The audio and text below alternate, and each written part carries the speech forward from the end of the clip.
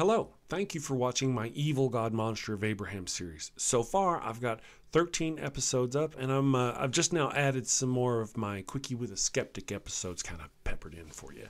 I uh, hope you like it. Um, let me know what you think in the comments below. Thank you, and take care. In this series, we'll examine the Book of Death, commonly referred to as the Bible, book by book, chapter by bloody chapter. Boring it sounds, but I promise it won't be boring we'll be looking at the harm and atrocities caused directly by the malice of the God of Abraham. Stick around. Originally, I planned this series as a follow up book to the Antitheist book I published back in 2013, but I decided to go ahead and create this video series instead, which I'll later convert into a book series of books as we go along. Keep an eye out for those. Also, I'll go ahead and put a link to my previous book, Antitheist, in the description below. Give it a look. First, I want to mention that I use the NIV version of the Bible found on BibleGateway.com. Unless there's some rhetorical point I'm trying to make which requires a more ancient version, this is the one I plan to use. It is, of course, the inerrant Word of God, so it shouldn't matter which one I use. Now, as we all know, the first couple of chapters of the Bible are all about creation. In this episode, we're going to talk about the book of Genesis, chapter 1, which is a wide angle view of God creating the heavens and the earth and the creatures, the waters, and then finally man. Of course, there's nothing evil God monster like about this, is there? Well, technically, actually, absolutely, yes. It's just hard to see. But if you look, you'll find it. I mean, if this God is real and is responsible for creating all the creatures on earth, then he created a world where an uncountable number, certainly well into the trillions, of creatures who have existed throughout time have had to survive by killing and eating other creatures. Murder, death, kill, murder, death, kill, murder, death, kill, in one form or another since the dawn of time. The perfect opener to the book of death. And it's really perfect in its insidiousness. It talks about creation in a manner some people see as divine and beautiful, but there's no mention of how, in order for any and all these creatures to survive, they must partake in the slaughter of and or consumption of the flesh of other animals. I mean, there's this big ball of energy right there in the sky, and an all knowing, almighty God could have made it to where every creature simply needed to absorb sunlight to live. But no, in all his wisdom and judgment, in this his perfect creation, we must kill or scavenge on other living things to survive. Wholesale slaughter on a scale which is difficult, if not impossible, to comprehend. Exhibit A, the first piece of damning evidence which I use to justify calling it the evil god monster of Abraham, is Book 1, Chapter 1 of its own story. Some theists may try to equivocate this point and claim creatures didn't need to eat or kill at this point in the story, which makes their argument seem even less plausible. But really, I could let them have that one. Okay, so no animal had to kill to survive when it was all created. But maybe they wanted to argue it wasn't until the fall of man where that changed, and therefore it's man's fault, not God's fault. Fine, done. Now, going on that premise, it's still the work of an evil god monster. But now he's even more cruel than we thought before because now the creatures God has set are under men's domain have to kill and consume the flesh of each other to live. Because man did something wrong. One man and one woman, in fact. All the other creatures of the earth for all time have to suffer horrible deaths to feed each other or horrible yeah horrible deaths to feed each other and or have to kill each other to survive really that's not the creation I would think would be born of a peaceful, loving God. Quite the opposite, in fact. That sounds like a world created by someone who enjoys pain and suffering and death. Exactly of the type of world the evil God monster would create. Although I will continue to go through the Bible to continue to exemplify my point, this alone I feel is enough. When looked at in the proper perspective, this clearly justifies why I call it the evil God monster of Abraham. Okay, so that's it for the opening episode of my Evil God Monster of Abraham series. What are your thoughts? Agree, disagree? Let me know in the comments below. In my next episode, we'll examine chapter 2 of the Book of Death, where the evil God monster of Abraham institutionalizes the subjugation and slavery of women. Thank you for watching, and remember, don't get eternally damned to lesser YouTube channels click subscribe and hit that little notification bell. Thank you. Take care. Well, it doesn't take much to find examples of faith killing children. Imagine you had already had a child. That child was sick. You didn't take people's advice to take it to the doctor, and that child died. Now you're facing murder charges and things have been going along in the courts, and you've already gotten pregnant and you've had another child, and that baby too is sick. Do you refuse to take the baby to the doctor? Or do you pray over the baby and hope, once again, just like the previous attempt, that your prayers are heard and your baby is saved? What do you do? Stick around and I'll tell you about it. Hello, and welcome to the Daily Atheist, Quickie with the Skeptic Edition, Episode 5.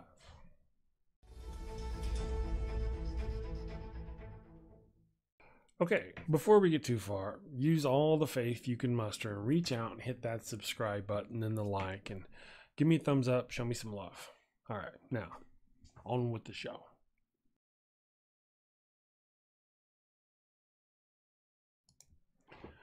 Okay, so for our first episode to really that really dives into this, I want to start with this couple here. Now, they're kind of a special case as it seems, I'm going to go through this. They're they're um, they had a child, and the child was born with uh, jaundice and was ill. The midwife told her to take the baby to the doctor.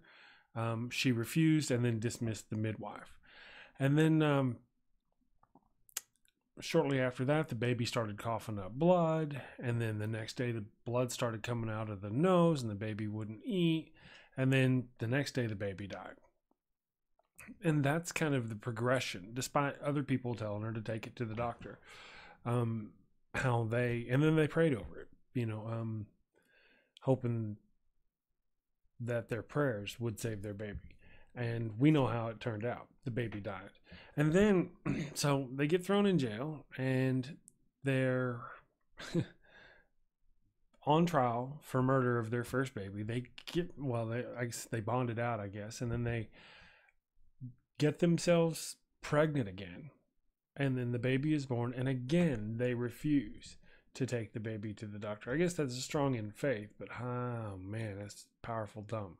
So and the problem with this is, is although these guys seem to be a worst case scenario, um, they're not an only case. It doesn't take a lot of searching and look around to find um, examples of where other parents have prayed their child to death. Here, this is one I find particular. You know, this guy here, he's some kind of nutbag who prays about all kinds of things and says ugly things about everybody. And look at him, he looks like he's pretty well fed. Um, and this is his child, Mary. And despite being a farmer and all that, um, his baby daughter starved to death. Why did she starve to death? Was she sick and some reason she wouldn't eat, or were they intentionally malnourishing and starving her? I'm not sure. I can't really find anywhere that says why she starved to death. Um, but they let her let her die and never took her to the doctor, even though they said that she looked skinny for over a month. And then they would pray and their distrust for medicine and you know, he has a YouTube channel where he goes off on medicine and science and doctors and all of, and then he's got all kinds of signs around his yard where he's, I don't know if this article is going to cover it. I got some other articles here. So here's him, the examples of him, one of his videos, spewing his nutbaggery, talking about how you know the weak if you know if they're not going to survive they should die right? Because it's evolution the strong fittest survive blah blah blah blah. Um, which is weird because he's not supposed to be an evolutionist right? He's supposed to be a christian. So why he would try to live by that and let his the strong die anyway. So he's got a bunch of signs around his house that read craziness um, not just this. Apparently, I've seen there. There we go. There's more, and it's, it's so clearly he's a religious nutbag. And despite everything, whenever uh, it came down to it, he let his child die instead of taking her to the doctor. And then, you know, as we watch this video, um, right here as an example, this guy is. At first, it looks like he's mad. Injustice has been done to him. He is angry. Um, as they're reading out the charges. In Solon Township, that you're both charged with what they call felony murder while in the perpetration or attempted perpetration of child abuse in the first degree. They're alleging that you murdered one Mary Welch. That is a charge called homicide felony murder. It is life without parole. It requires a DNA sample to be taken upon arrest. And see, you see that look on his face that needs to stay there for a long time. And and others of his ilk need to see that. They need to they need to go into his church and watch this video. Make them watch this. Cuz I mean, look at his he went from angry and bravado to which is often like a cotton swab or in the inside of your cheek. The second offense that you're both charged with is called child abuse in the first degree where they're alleging you knowingly or intentionally caused serious physical harm to a child. They're talking about this Mary Welch. It is a felony, possible penalty of up to life imprisonment or any term of years less than life. Now, those are the two separate felony charges. Okay, so you know, and and that's what I'm saying. That's right. They should go. They should go to jail. They should never breathe fresh air again. These guys are evil. I mean, not only did again they kill their kid, but they were these guys here were also prepared to do it again. She, at the time of this, I believe, was also pregnant. Different case though. Different case than the first one over here, where they actually got this baby here was jaundice. Um, I guess it had uh, medical reasons that are beyond my understanding allergic to her mother kind of stuff i'm not sure. You can go read the article go find the article. But that was was the problem. And it was easy to detect oh hey look this is the problem. Look baby sick. Um, and then they went and had another baby. Oh look baby sick same way. Let's let's take it and pray. Um, matter of fact uh, if you read the article it talks about how after this the first baby died here they went and called their friends at the church over to pray with them and tried to resurrect the child. That's how into it and crazy these people are. Um, so when the police arrived, there were three people praying over it, trying to res- resurrect the baby. But that's kind of the crazy there. But again, here I am. Here these people are, completely different couple, everything, and same thing. They murdered their baby essentially by refusing. This guy here, though, you saw how he was angry. He was angry. And look how fat and healthy he is. They starve their kid for whatever reason, and they're farmers. You know, and their whole job, their whole life livelihood is is providing fresh food to people, and they starve their baby to death and prayed over it instead of taking it to the doctor. So, um, just kind of an example of what you can do with some faith. Boom. Okay, so there's uh, an example. We're gonna I'm gonna end it there on this one because we're going with quickies with the skeptic and um, I'll, I'll, probably find out. This is gonna something that kind of really gets under my skin. If I see another one of these, I'm gonna do another video. I'm gonna point them out. Whenever this case ends up, and we get that, because apparently they're going to court on this, trying to determine how much rights these morons should have over their children. And um, whenever that all is all settled, I'll probably, if I can, if I find it or if I see it, I'll uh, I'll make a video on that. So. Um, what are your thoughts on this? Let me know in the comments below. And don't forget to like, share, subscribe, bless it, pray over it, Jedi Mind Trick, do the thing, show me some love. All right. You guys take care. Thank you.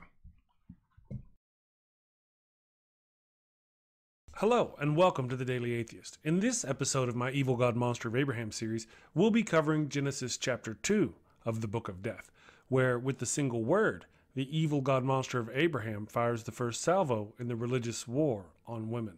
Stick around. Okay, before we get too far along, I have to warn you that your soul will be found lacking for some reason, probably related to your sexual organs, by the amazing Super Chris. If you don't reach out and click that subscribe button, then hit that little notification bell. Don't get smited, my friends. Do it now. Now, on with the show.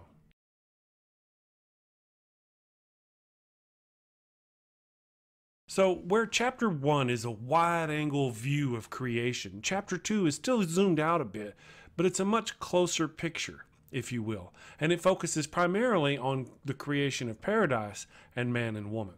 So, as I read chapter 2 of Genesis in the Book of Death, I just want to point out a couple of logical inconsistencies as part of our atheist Bible study endeavors. In chapter 1, it says plants were formed on the third day and man was formed on the sixth day. In chapter 2, it says no plants had formed on the earth, yet God created man, then the plants. Genesis 1, verse 11 through 13 said, Then God said, Let the land produce vegetation, seed bearing plants and trees on the land that bear fruit with seed in it, according to their various kinds. And God saw that it was good. And there was evening, and there was morning, the third day. Man, as we all know, was created on the sixth day in chapter 1. But in Genesis 2, verses 5 through 7, it says, Now no shrub had yet appeared on earth, and no plant had yet sprung up, for the Lord God had not sent rain on the earth, and there was no one to work the ground. No rain, no one to work the ground. But streams came up from the earth and watered the whole surface of the ground. Then the Lord God formed a man from the dust of the ground and breathed into his nostrils the breath of life. And the man became a living being. In the following verses, God creates Eden and the plants, etc., because now he has, according to the previous verses, the things he needs for the plants water and someone to tend them. It would appear that right from the start, the evil god monster of Abraham can't keep his story straight, something his followers should consider, or I guess continue to ignore. But wait, you say, it's the perfect word of a perfect, loving. Never mind. Moving on to the first domino in the chain that would result in the religious subjugation of women for generations to come, I will sum it all up in a single word helper. Verses 20 through 22 says, But for Adam no suitable helper was found. So the Lord God caused the man to fall into a deep sleep. And while he was sleeping, he took of the man, one of the man's ribs and then closed up the place with flesh. Then the Lord God made a woman from the rib he had taken out of the man, and he brought her to the man. See, in God's eyes, she's not an equal. She's a helper, an assistant, a, a servant, a beast of burden, albeit the perfect beast of burden, still a beast of burden. And you have to wonder should women be a little insulted? I mean, literally, according to the Bible, God and man were looking for a suitable helper for man and went through and named every single animal before finally giving up and just making a woman out of man's rib. Almost as a last ditch effort, it would seem. A little side note here to the Bible's credit woman is the only creature in this chapter not created from dirt. Just a good point to be made. In verse 18, it says, The Lord God said, It is not good for the man to be alone. I will make a helper suitable for him. A helper suitable for him. So we're off to make a helper for man. Verse 19 says, Now the Lord God had formed out of the ground all of the wild animals and all the birds in the sky. He brought them to man to name. Then the end of verse 20 says, But for Adam, no suitable helper was found, which clearly implies that that's what they were doing, looking for Adam's helper. Now, I get that in a way it's a compliment in that no animal, aside from woman, was good enough to be the helper of man. But wouldn't you think God would have known that to start? He could have made it to where man and woman together named the animals. This kind of makes it sound as if God and Adam just stumbled through all the various types of animals, seemingly taking a long, hard, lustful look at goats and sheep, while searching for that perfect helper we now call woman. But by having man be created first and giving man dominion over the animals, you've already set him up to dominate over women. Then to create woman and literally biblically deem her a helper, you are sanctifying in the Word of God that women are lesser and are to be controlled and dominated by men. How many women have suffered because of this? In all fundamental sects of any of these religions, the women are always lesser than men, servants to the men in one fashion or another and all of them are forced into modesty, from headscarves to full blown burqas and the habits of nuns. Even in their modern forms, few of these religions allow anything coming close to equality between men and women. And when they do, when pressed on the subject, they'll still admit in one way or another that the wife is the helper to the husband and subject to his, his will or domain. All because of a word. He could have said equal and created her sooner, but he said helper and created her last. And those, biblically speaking, were the first steps to the subjugation and oppression of woman by the men of the Abrahamic religions. The misogyny of a few ancient desert dwellers scribbled onto some scrolls sentenced untold millions of women to something akin to slavery. Exactly what you'd expect to find in the Book of Death, written by an evil god monster. I'd like to point out that, to her credit, woman is not present when man is told not to eat of the fruit of the tree of the knowledge of good and evil. Of course, we all know she catches most of the blame later, but she's not there when God tells man. Point of fact. Maybe men should have been the ones having periods and dropping babies. Chapter 2 of Genesis. Another piece of damning evidence I put forth to justify calling it the evil God monster of Abraham, and for calling the Bible the book of death. Thank you for watching and stay tuned for the next episode where we cover Genesis chapter 3 in the Book of Death, wherein the aforementioned small minded misogynistic men of the ancient Middle East continued their barrage and sealed the fate of countless women across the millennia. Again, wrapped in a single word Eve. If you like what I do, show me some validation by swinging by my Patreon and showing me some love. Do the thing at the place with the stuff for the guy. I'm the guy. Before you go, remember to click that subscribe button, hit that little notification bell. Don't disappoint the amazing Super Chris, lest you be smited, and we wouldn't want that. That would be unfortunate. Thank you and take care. Hello, all. Chris Mallard here, atheist extraordinaire, host of the Daily Atheist Morning Show, and currently burning in hell. Oh, don't worry about me. I'm not dead. I'm just down here for the annual Christmas party. I mean, I mean, annual solstice awards party. The Dark One, or Lucy as he is affectionately known, is personally handing out the awards. Aaron Ra is getting the award for the most souls brought down by evolution for his African fossil hunt, and Matt Dillahunty has won the Golden Phallus Award for being a dick to the most Christians. Oh, wait. It's the Golden Fallacy Award for the confusing the most Christians. Easy mistake to make. To top it off, Seth Andrews has lent his voice to the Gregorian chants this year. It's delightfully hellish. Gotta run. I hope you all had a happy Thanksgiving, if you're into that sort of thing, and I want to wish everyone a Merry Christmas. Ah, ah, ah, I mean, a, a, happy holidays, happy solstice, and a happy new year. Stay safe, heathens. Party hard, fornicate, that sort of thing, but do it safely. Modern art of Jesus Christ is not based on Cesare Borgia. Surprised? Me too. Hello, and welcome to the Daily Atheist. Quickie with the Skeptic Edition, Episode 2.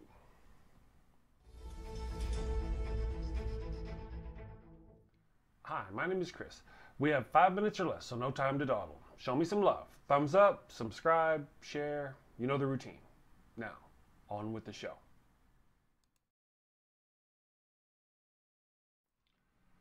Allow me to introduce you to my friend. His name is Cesare Borgia. He was born in September 1475 and died in March of 1507. Some people think he's the model for our modern notion of Jesus, but he's not. I know, I know, I thought so too, but it looks like we were wrong. I'd heard the rumors and seen the pictures, shrugged and went on, but apparently there's more to it than I thought. We know Jesus looked more like this guy than this guy. But the misconception we have now is not because of Cesare Borgia. It's more due to our nature to make our gods look like ourselves than any influence Pope Alexander VI may have had. Actually, though, this is an easy one. All we have to do is look to artwork of Jesus before the birth of Cesare Borgia. This show topic was a suggestion from my Facebook friend Robert Smith, so blame him. Thank you, Robert let's go back here to artwork of the 14th, early 14th century. Here are a couple of paintings from an early 14th century painter named Duccio di Buoninsegna, an Italian artist painting who he believed to be Middle Eastern people. Although this Christ is a little more olive skinned, he does have the typical beard and hair in each of these photographs.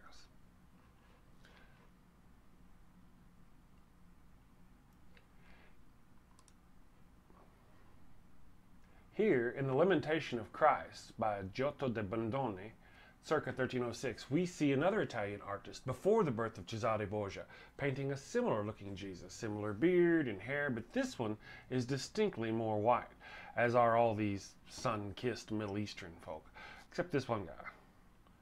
He looks like he's blushing. He must have farted or something. Anyway, here's one of the best images disproving the Cesare Borgia theory. This is Ecce Homo and was painted by a Dutch artist named Hieronymus Bosch around the time Cesare Borgia was born. Painted between 1475 and 1485 at best. Borgia would have been about five years old when this was painted. Painted, I might add, by a man in a faraway country who spoke a completely different language. Now, when we go back and look at the picture of Cesare Borgia, we'll notice there's this little note here.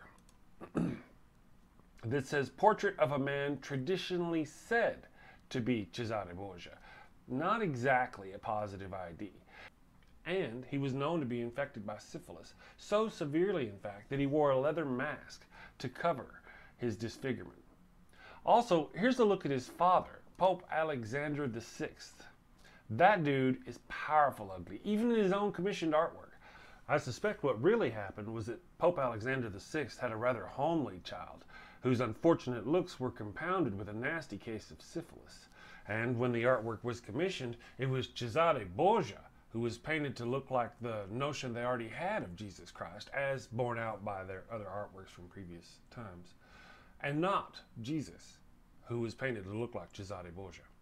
What do you think? Am I right or am I right or am I right? Let me know in the comments below. Don't forget to give me a thumbs up, click that subscribe button, hit that notification bell. Thank you for your time.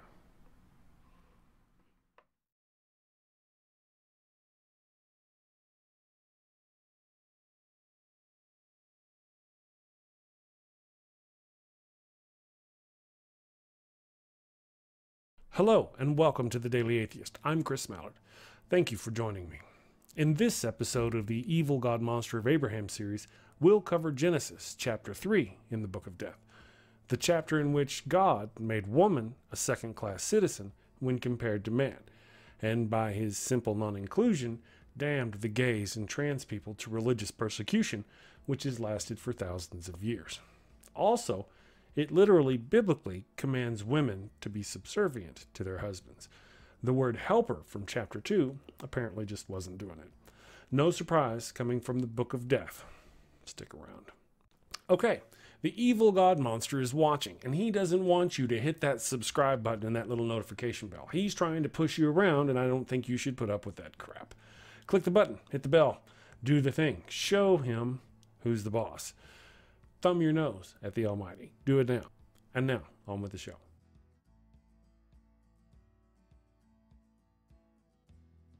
Special thanks to my patrons, merch buyers, and those friends out there who provide moral support. You guys are wonderful. Thank you. Okay, chapter 1 gave us a wide angle view of creation, and chapter 2 narrowed the focus a bit, giving us an idea of how everything comes about. Chapter 3 picks up there and gives us an up close and personal view, really, of the fall of woman. Oh, they call it the fall of man, but really, man was just a spineless onlooker who apparently did nothing to protect the innocent Eve from the serpent.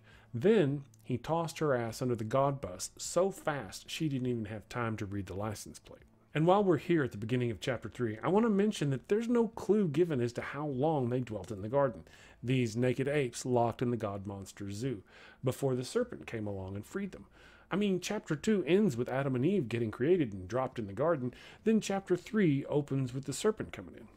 Did they get any quality time at all with the Almighty before everything went to hell? Oh, wait, hell didn't exist, so scratch that part. Did they exist for blissful centuries, walking around naked in the garden with their junk hanging out, enjoying the shining love of the Almighty God? Did God walk around with his junk hanging out? Hmm. Doesn't say, but you have to wonder whether or not he was circumcised, right? As much fuss as he makes about such things. Questions, pesky questions. Maybe that's why they hate questions. And is being naked good or bad in God's eyes? Most religions would have you believe exposing your naked body is a horrible, horrible thing. Yet God wanted his zoo apes naked, and he wanted them to be okay with that. Why don't we follow that example? Maybe the nude beach folks are the ones who are doing it right. I mean, in fact, the very first thing that happened when they ate the fruit was that they realized they were naked. God wanted Adam and Eve to be naked and to be ignorant. Pourquoi? And if it's wrong to look upon naked people, why did God wish to do it so badly? Also, it seems they're more like active slaves than passive zoo animals. According to chapter 2, man was created and commanded specifically to tend the garden. Genesis 2, verses 15 says, The Lord God took the man and put him in the garden of Eden to work it and to take care of it. Two people kept naked and secluded and expected to toil for their slave master, the evil god monster of Abraham, presumably for all eternity, kind of sounds like slavery in perpetuity to me. I mean, there are many ways to describe what we're reading in Genesis 3, but this description seems to be one of the more accurate.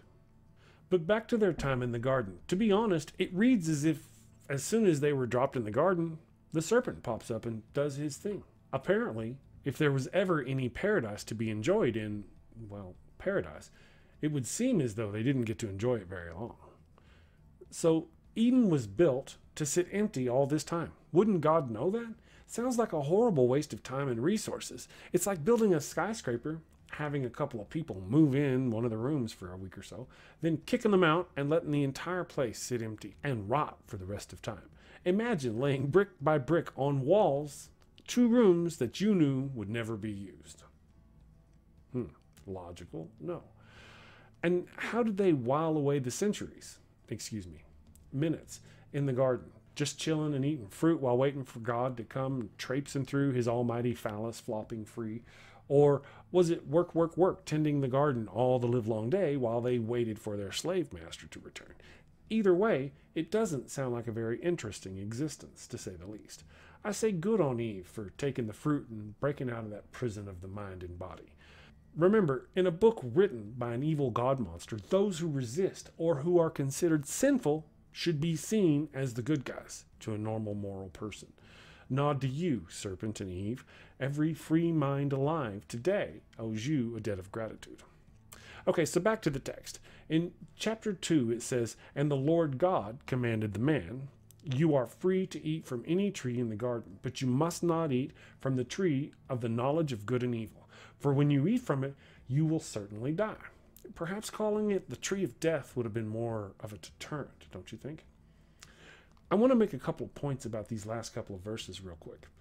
One is that of all the places in the universe, we don't even have to do the whole universe. In all of the world, you put your favorite creation, who doesn't know right from wrong, good or evil, within walking distance of the one tree whose fruit he shouldn't eat of. Hmm. And then, like the final, you know, footwear to fall would be that you tell him about it. Really, sounds like a trap to me. Why not put that tree on a remote desert island or on Mars or anywhere else? A thousand miles to the east across some mountains would have sufficed. And we'll just slide right by the whole why make the tree at all thing. Of course, it's all just a metaphor, right? Just a really bad metaphor. Okay, so bumping back to chapter 3.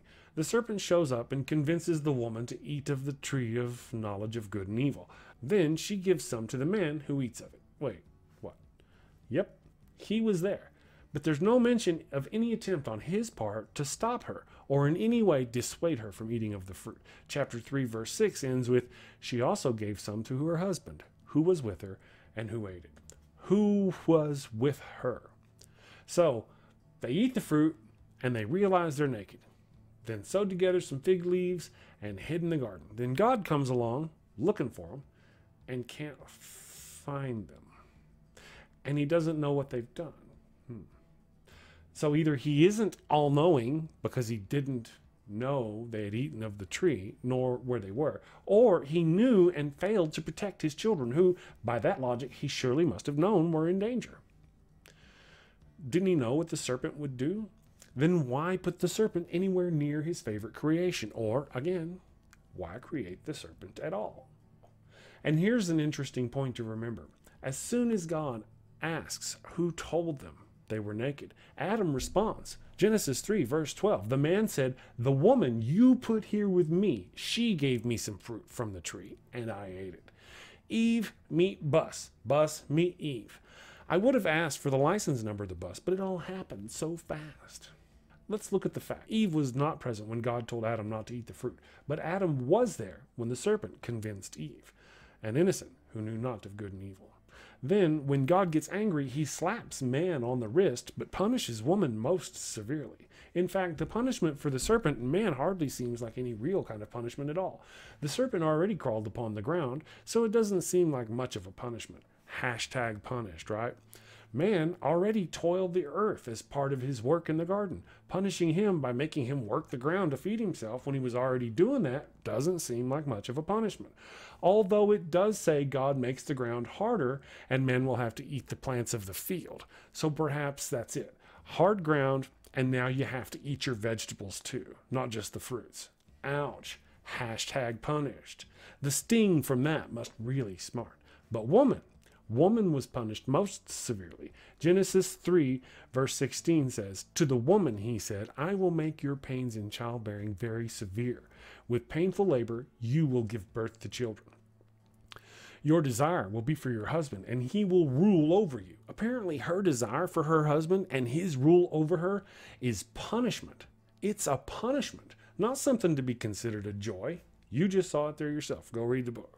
But there's a catch. Not only will she have to have pain in childbirth, which there's never been any children and is not something she's already doing, but now she's officially been promoted from a helper to a slave. And I quote, Your desire will be for your husband, and he will rule over you. Rule over you. And it's not like woman doesn't have to work the ground to eat, and she doesn't have to eat vegetables too, right? So she suffer his fate and fears, but he doesn't have to suffer hers. And how does this all affect the gays and transgendered people? Notice that during creation, it's just man and woman. No mention of gays or transgendered people or any of that anywhere. No ambiguity at all, in fact, which has directly led to the mistreatment of countless gay, lesbian, and trans people throughout history, not only by the church. But by complete strangers and even their own families, often using the battle cry of Adam and Eve, not Adam and Steve. On the news, for example, how many times have you heard of a gay or trans person been beaten to death by some religious nutbag? And it happens all over the world. From Africa to Alabama, people are killed for the type of person they love or for the non standard configuration of their genitalia. Surely, an all knowing, all loving God would have known about the gays and trans and loved them, right? Nope. This is absolutely typical of the evil God monster of Abraham. No mention of them so they don't exist, which many believers apparently take to mean they shouldn't exist. In this one chapter, the evil God monster of Abraham outright damns women to slavery and servitude for actions that hardly seem her fault or even worthy of punishment at all, while at the same time, by not mentioning gay and trans people, it dooms them to abuse, mistreatment, and as we've already discussed, murder. And there you have it the small minded, misogynistic men of the deserts of the Middle East setting in stone, if you will, the God sanctioned subjugation of women and the persecution of anyone not clearly male or female.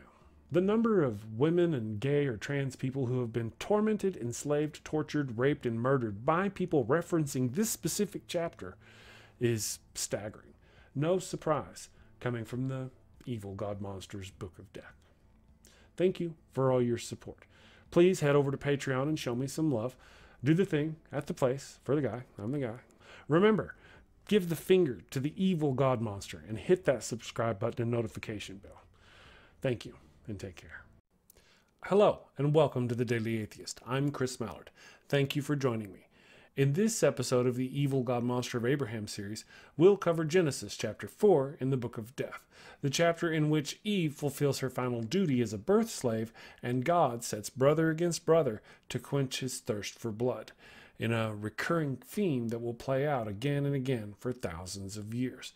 Brothers and believers slaughtering each other by the millions in the name of God stick around. Okay, I need to warn you that Adam and Eve and baby Jesus will all cry angel tears if you don't click that subscribe button and hit that little notification bell. So you better do it now.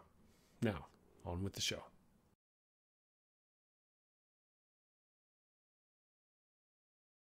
In the Bible, the first three chapters give us a quick rundown of creation, and chapters 2 and 3 make sure to put woman in her place. Despite being a helper, we never see her do anything, literally anything, beyond creating sin. No other lessons to be learned from Eve at all, just sin. Now, in chapter 4, she's going to have a few babies, all boys, of course, fulfilling her duty to bear children, then she vanishes. Mentioned later only when reminding women of their place. In fact, her only line in this chapter, I've gotten a man child with the help of the Lord, surely smacks of misogyny not just any kind of child, but specifically a man child. Eve herself is telling all women who come after her that, well, almond joy is better than a mouse, and every time you feel like a nut. In the next couple of chapters, the authors will waste mad amounts of space and words just telling us which man descended from which man, the true exemplification of a patriarchal line. A mindless string of boring, meaningless begats when It could have been teaching us about the lives of Adam and Eve and given her character some meaning, besides just being the cause of sin and the first human 3D printer. I mean, it opens with Eve dropping a couple of babies, then forgets about her for the rest of the chapter until we need her to crank out another baby. Eve fulfilling her purpose. She caused the sin which caused the downfall of all of humanity. Then she drops some babies and she's out. She has three babies in chapter 4 Cain, Abel, and Seth. Then in Genesis chapter 5, verse 4, it says, And the days of Adam after he had begotten Seth were 800 years, and he begat sons and daughters. Then he begat more children, we presume, with Eve is the last direct, indirect mention of her in the Bible. After this, when the Bible refers to Eve, it's to vilify her for the sin she created or to point out how she was lesser than Adam. 2 Corinthians 11, verse 3 But I am afraid that as the serpent deceived Eve by his craftiness, your minds will be led astray by the simplicity and purity of devotion to Christ. You may have heard that scripture, 1 Timothy 2 12, which says, But I do not allow a woman to teach or exercise authority over a man, but to remain silent. That's a fairly popular one, an old chestnut, if you will. But did you know the very next scriptures, 1 Timothy 2 13 and 14, blame Eve for this? For Adam was formed first, then Eve. And it was not Adam who was deceived, but the woman, being deceived, fell into transgression. In my previous videos, I mentioned how having Adam be created first, in a way, gave him dominion over Eve. Here we see someone who has read that text and is using it against women. We didn't have to wait for modern examples of someone oppressing women because of their interpretation of the Eve story. It happens right here in a later chapter of the Bible. Hmm. So at this point, let's forget Eve. The Bible certainly does. And besides, this god monster craves blood. In fact, it's not hard to find examples of the followers of the evil god monster Abraham killing each other. Jews kill each other throughout the Old Testament. Christians have been killing each other since the foundations of their church, and Muslim has been killing Muslim since the death of Muhammad, and probably before. Believer killing believer, brother killing brother. And why not? The fourth chapter in the book of death opens with brother killing brother, prompted directly by the actions of the evil god monster of Abraham. An interesting side note it's not just brother against brother. In a way, the Bible sets farmer against herder. I'm curious if there's ever been any animosity between farmers and herders because of the way the Bible treats Cain and Abel. If you know of some examples, let me know in the comments below. Let me explain that though. Genesis 4, verse 3 says, And she bare his brother Abel, and Abel was a keeper of sheep, but Cain was a tiller of the ground. There seems to be a negative connotation to the word but here, and at first I thought it was just me reading into it, but it sure seems like the author favors herders over farmers. In the following scriptures, Cain offers God the fruit of the ground, and Abel offers the fat of the firstlings of his flock both offerings presumably being the best of what their trades produced. Yet God frowns on Cain's offering and smiles on Abel's, which stirs Cain against Abel. Perhaps nothing, perhaps a subtle slight to those who work the ground. Anyway, back to the main point. Something I want to mention is that in earlier chapters of the book of death, it mentions God specifically makes working the ground hard. And I would argue that farming in those days was probably a lot more labor intensive than herding. Not that both aren't hard, but in this case, God specifically increased one's difficulty level as a punishment. So, in other words, Cain worked his ass off, slaving under the curse of God in the hardened ground. Then he offers God his best and was shunned, while his younger brother, Abel, worked less, offered less, the fat of the flock, not the meat, but was given the praise of God. Then, when Cain was upset for being shunned, God adds insult to injury by saying, Genesis chapter 4, verse 6 and 7, And the Lord said to Cain, Why are you angry, and why is your face downcast? If you do what is right, will you not be accepted? But if you do not do what is right, sin is crouching at your door. Wait, he did well. It doesn't say he made a bad offering. It says he chose to work the field, which should be noble considering the difficulty level involved, and he brought the fruit of the field as an offering. What's wrong with that? How is that not good and why is it not accepted? No reason is given. So do you blame him for getting mad and making a face? So what comes next? Doesn't make a lot of sense for several reasons. As we all know, Cain kills Abel, but they were both raised by Adam and Eve in the presence of God Himself, who literally interacts and talks to these people. Yet, despite all this, Cain murders his brother because he's not getting enough godly attention. Wouldn't God know what he was doing would drive Cain to murder? Talk about some bad parenting. Somebody clearly didn't get hugged enough as a child. Either Cain was quite a fragile individual to let such things disturb him to the point of killing his brother, or there was more to it than what is told in the Bible. Either way, it looks a lot like a setup. Just as Eve was set up by God to fail in the Garden of Eden in chapters 2 and 3, Cain is clearly being set up here, although her punishment is much more severe. It's almost as though he's being rewarded for the bloodshed he caused. Throughout the Old Testament, including the next chapter, it's demonstrated that to live a long life was a reward from God, and yet Cain was punished, not by being killed, but by being given a long life. Genesis 4, verses 15. Then the Lord put a mark on Cain so that no one would kill him. Hashtag punished. And apparently, his other punishment was not being allowed to work the ground. Genesis 4, verses 12 says, When you work the ground, it will no longer yield its crop for you, which doesn't really sound so bad because it was such a crap job anyway. So, hashtag punished. And he was made to be a restless wanderer on the earth. Our first poet.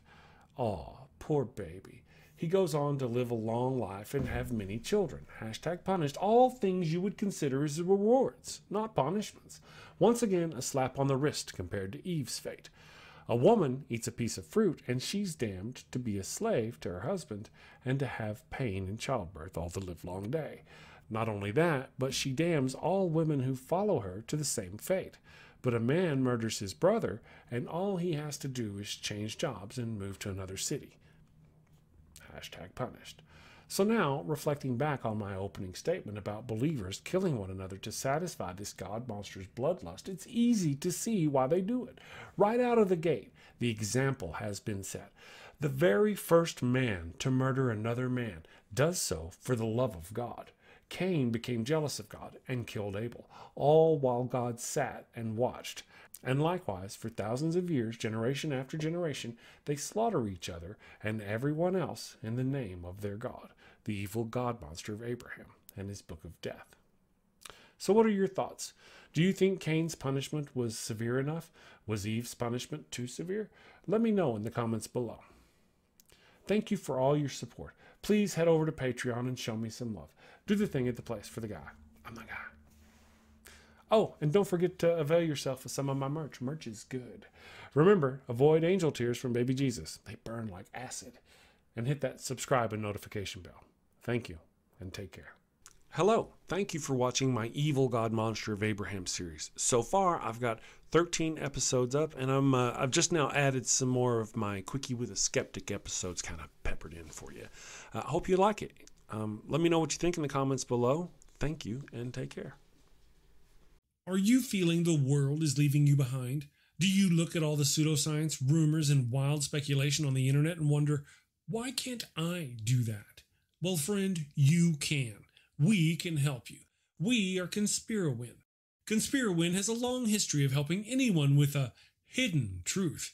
We will get your message out. The conspiracy theories you see today all started out with one person's vision the moon landing hoax was launched by a NASA engineer whose manager didn't okay his vacation request. ConspiraWin was there to help out. Christianity started out because one little girl named Mary got pregnant out of wedlock, and ConspiraWin saved the day. Now, the virgin birth is accepted Catholic doctrine.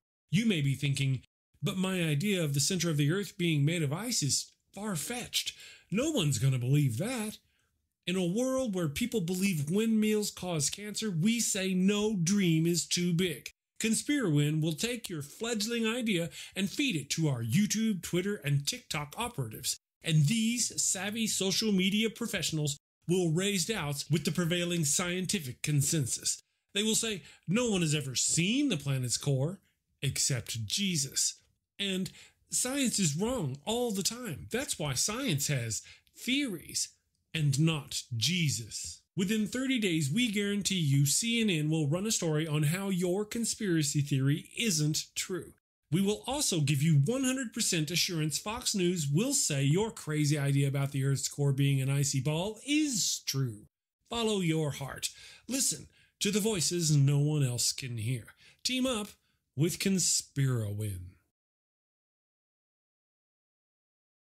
Hello, and welcome to the Daily Atheist. I'm Chris Mallard. Thank you for joining me. In this episode of the Evil God Monster of Abraham series, we'll cover Genesis chapter 5 in the Book of Death. The chapter in which Tom begat Harry, who begat Dick, who ad nauseum begat, begat, begat. Boring, useless, and wasteful. But we'll make it fun. Stick around.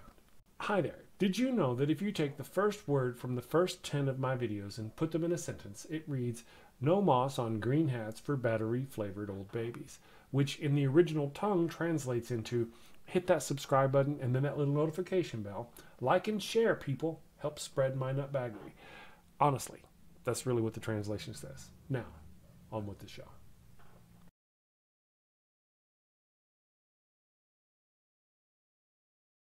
Okay, so rather than beat a dead horse here, I'm just going to lightly whip it a little. The misogyny, which began in chapter 2, no surprise, continues on to chapter 5. How so, you ask? Well, chapter 5 is essentially a lineage men and women having children, and those children go on to have children. Well, wait, that's not really what happens here. Men have the children, no wives or mothers are ever mentioned, and these children go on to have other men who also have children. Throughout chapter 5, not a single woman is named. Women are only referred to in the beginning when it says God created male and female, and after that only when stating that a man had many sons and daughters. Other than that, they're not worth mention. We all know the efforts which go into making a baby. Man does his part, then the woman carries the child, births the child, tends the child, etc. Who changes the diapers? Who makes the clothes? Who cooks for the child? Right, the mother. In almost every culture, the world over, women bear the brunt of childbearing, yet not a single woman is named, nor given any kind of credit in chapter 5. Men spread their seed, men have sons who have names and go on to have sons, while women remain nameless and are referred to only when stating that a man had sons and daughters, almost like an afterthought. No surprise, though, right, given how the text and its followers treat women, either as slaves or birthing ovens, and often as both. Okay, the dead horse called misogyny has now been properly tenderized. So on with the secret code. Okay, so in Deep Space Nine, the Grand Nagus, sort of like the king of the Ferengi, goes into the wormhole of the prophets and comes back changed. Instead of being his usual greedy self, he becomes very benevolent and no longer lusts after latinum and gold. He even rewrites their sacred book, The Rules of Acquisition, turning it from a book of greed to a book of love and kindness. Quark, one of the main characters, doesn't believe it and thinks it's all a scam. He thinks the Nagus is doing all this as some kind of scheme, or that there must be some kind of hidden message of truth, read that as greed, hidden somewhere in the book. So, to that end, he says to his brother Rom, It must be some kind of code. Read me the first word of every rule. Rom opens the book and reads each word as he flips the pages. If never, keep profit, a good smile, honesty. Quark leaps to his feet and says, Aha! If never keep profit, a good smile, honesty. Well, what does it mean? Rom asks. Quark responds, It means absolutely nothing. But wait, in their case, it does kind of mean something. Following the motif of the story, we could interpret it as if you never keep profit, you could always have a good smile. You could infer that the next line formed in such a manner might be honesty is the best policy. But we just kind of made that up, huh? Right here. Just like the Christians. In this case, it was not a message the Ferengi were wanting to hear, so to them it meant nothing. Similarly, people seem to think that there's a hidden code in the names of the men listed in the begats of chapter 5 of Genesis, and that it's not just a waste of space. If you believe, then it could mean everything validation for your beliefs and proof that God is there trying to communicate with us in secret, hidden ways. If you don't believe, then it's just a bunch of nonsense. So let's take a look at the secret message in Genesis 5. What could it possibly be? The 11 spices to the Colonel's secret recipe? 10 ways to earn money working from home. Or maybe it's something actually useful, like telling them to boil their water before they drank it. Perhaps the atomic weight of boron? Nope. The ten names from Adam to Noah, when put together in a sentence and translated, means Man is appointed, a mortal man of sorrow is born. The glory of God shall come down, instructing that his death shall bring those in despair comfort and rest. Well, at least that's what it means according to the BibleCodes.org, and you get essentially the same thing from the YouTube video Hidden Message in Genesis 5. Is that a miracle? Or is it more likely that one had it first and the other saw it and repeated it? Either way, it's uncanny. Gives me the tingles. but here in the Messiah in Genesis 5 by 119 Ministries, it says something completely different. Let's go through it step by step. Adam simply means a man. The literal meaning of Seth is the word substituted. Okay, so Adam means man. But you'll notice later when they say the word man, they don't use Adam. None of the words with man in them as part of the translation have Adam in the word. Just an interesting point. According to this, Seth literally means substituted. Really? That's what you name your kid? That's a ridiculous name for a child. Hey, substituted, how's it hanging today? Over here at BibleCodes.org, they say Seth means appointed. So is it substituted or appointed? Apologists, please don't embarrass yourself by trying to explain that they're the same thing, because we know they're not. Enosh is usually rendered as a man, but it is a plural function, meaning people or the human race. The root word related to Enosh means very sick or incurable. So the meaning when all is considered is incurable man or very sick human race. So far, with Adam, Seth, and Enosh, we have a man substituted incurable man. Enosh means either people, incurable, or a mortal of man. You see where I'm going with this? No Adam in the word Enosh, by the way. Not only is it a real stretch to imagine that this list of names is an actual message from God, but can you imagine giving children's names like this? Daddy, why did you name me Very Sick Human Race? Well, because we were making a string of names in what will be a dead language that, when you put them together later, will mean absolutely nothing. Of course. Does this fit Yeshua? Here is some scripture to consider. By Yeshua, he means Jesus. Super eye roll. So at this point, he's going to start just chucking random scriptures from both the Old and New Testament to try to shoehorn this one in. This is a perfect example of modern Christians trying to jam Jesus into the Old Testament trying to create prophecy where none existed. Yeshua substituting incurable man. Isaiah 53, verse 5. But he was pierced for our transgressions, he was crushed for our iniquities. Upon him was the chastisement that brought us peace, and with his wounds we are healed. 2 Corinthians 5:21 For our sake he made him to be sin who knew no sin, so that in him we might become the righteousness of God. 1 Peter 2:24 He himself bore our sins in his body on the tree so that we might die to sin and live to righteousness. By his wounds you have been healed. Our Messiah substituted his perfect self for our sin. We were incurable and very sick, and through him we are healed. In this case, his interpretation is a man substituted incurable man, which he uses Jesus as the man who substituted himself for our sins. And then he justifies it with the aforementioned random scriptures. Mediocre attempt at best. Now we need to determine the Hebrew meaning of Kenan and Mahalalel. Kenan literally means possession or possessing. The root word means to erect. Malahel means praise of God. The root word means shining light. Kenan means possessing. Very sick human race, quit picking on to erect a light, or I'm going to tell substituted on you. You see how dumb that's starting to sound? John chapter 8. Again, Yeshua spoke to them, saying, I am the light of the world. Whoever follows me will not walk in darkness, but will have the light of life. Psalm 119.5. Your word is a lamp to my feet and a light to my path. Of course, here he goes jamming Christ into it everywhere it mentions light. Erect a light in book 5 of Genesis somehow means Jesus because in John, literally hundreds of years later, it says Jesus claimed he was the light of the world. Why didn't they just say Jesus then in the beginning? Why the wordplay and the obfuscation? Why go through all the trouble to hide a scripture, even one as poorly constructed as this one, when they walked around and talked about this stuff all the time? It's not like it's some kind of secret. If they wanted to be mysterious, they could have turned and broken the fourth wall and said, Person reading this book later, Jesus is the light, the Son of God, buy stock in Yahoo, etc., etc., yada yada. But no, obfuscation and metaphor. And wait, what does Kenan mean according to the BibleCodes.org? Well, Kenan means sorrow is born. Clearly a different translation, right? Can you imagine having that embroidered on his tiny little booties? Sorrow is born. Aw, how cute. We should have them bronze aged. An indoctrinated individual might be amazed that hundreds of years later this alluded to that, or they might be convinced that that one thing meant the other. But to someone who has put any real objective mental effort into it, can clearly see this is a bunch of made up, after the fact nonsense.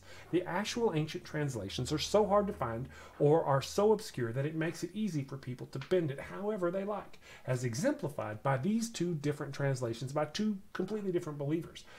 Make it up Say it with confidence or authority, and people will believe it. And this is not really about having an education or being intelligent or not. People believe this nonsense because they want to. I have to say that no matter how intelligent you are, even if you are the tops at all the Mensa parties, it doesn't matter if you want to believe it. If you want to believe this gibberish and you want to find power and mystery in these words and you don't have a problem being dishonest with yourself, you'll find a way. I'm not going to bore you by making you watch the rest of the video. Let's go ahead and skip to the end. Look at the differences between these two translations. Man is appointed. A mortal man of sorrow is born. The glory of God shall come down, instructing that his death shall bring those in despair comfort and rest. BibleCodes.org. But according to the other interpretations, a man substituted incurable man and erected the shining light of God by coming down to teach. He is the branch bringing mighty youthful rest. The perfect, immutable Word of God? Clearly less than perfect and quite muted. Some people claim the Bible holds mysteries which we're still unable to comprehend at this time, which means it's literally trash to the billions of people who've come along before and can't understand it or crack the code. Isaac Newton genius by all rights, studied the Bible as hard as he did the sciences, and despite cracking gravity, he never found any meaningful codes or hidden messages in the Bible. Hmm. It's all a distraction, and Occam's razor really does apply. All these begats are just someone trying to validate Noah by creating a string of names between him and Adam. Trying to shove Jesus in there is just embarrassing. So here's an entire chapter wasted to tell us nothing more than Noah was a direct descendant of Adam. Ten generations of parentage, literally without mention of the wives and mothers who birthed these men. And daughters are only mentioned as an afterthought, typical of the evil god monster of Abraham and his book of death. So, what do you think? Do you buy the notion that there's a hidden message buried in the begats of the Bible? Let me know in the comments below. Thank you for all your support. Please head over to Patreon and show me some love. Do the thing at the place for the guy. I'm the guy.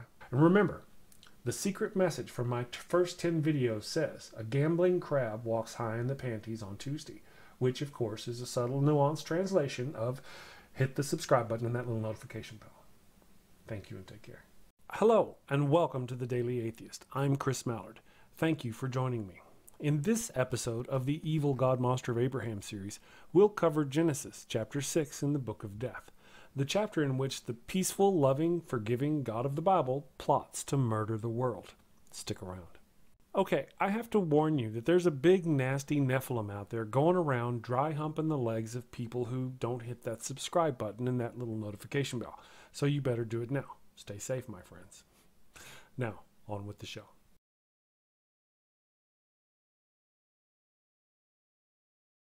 Will the misogyny in the Bible ever end? Well, no.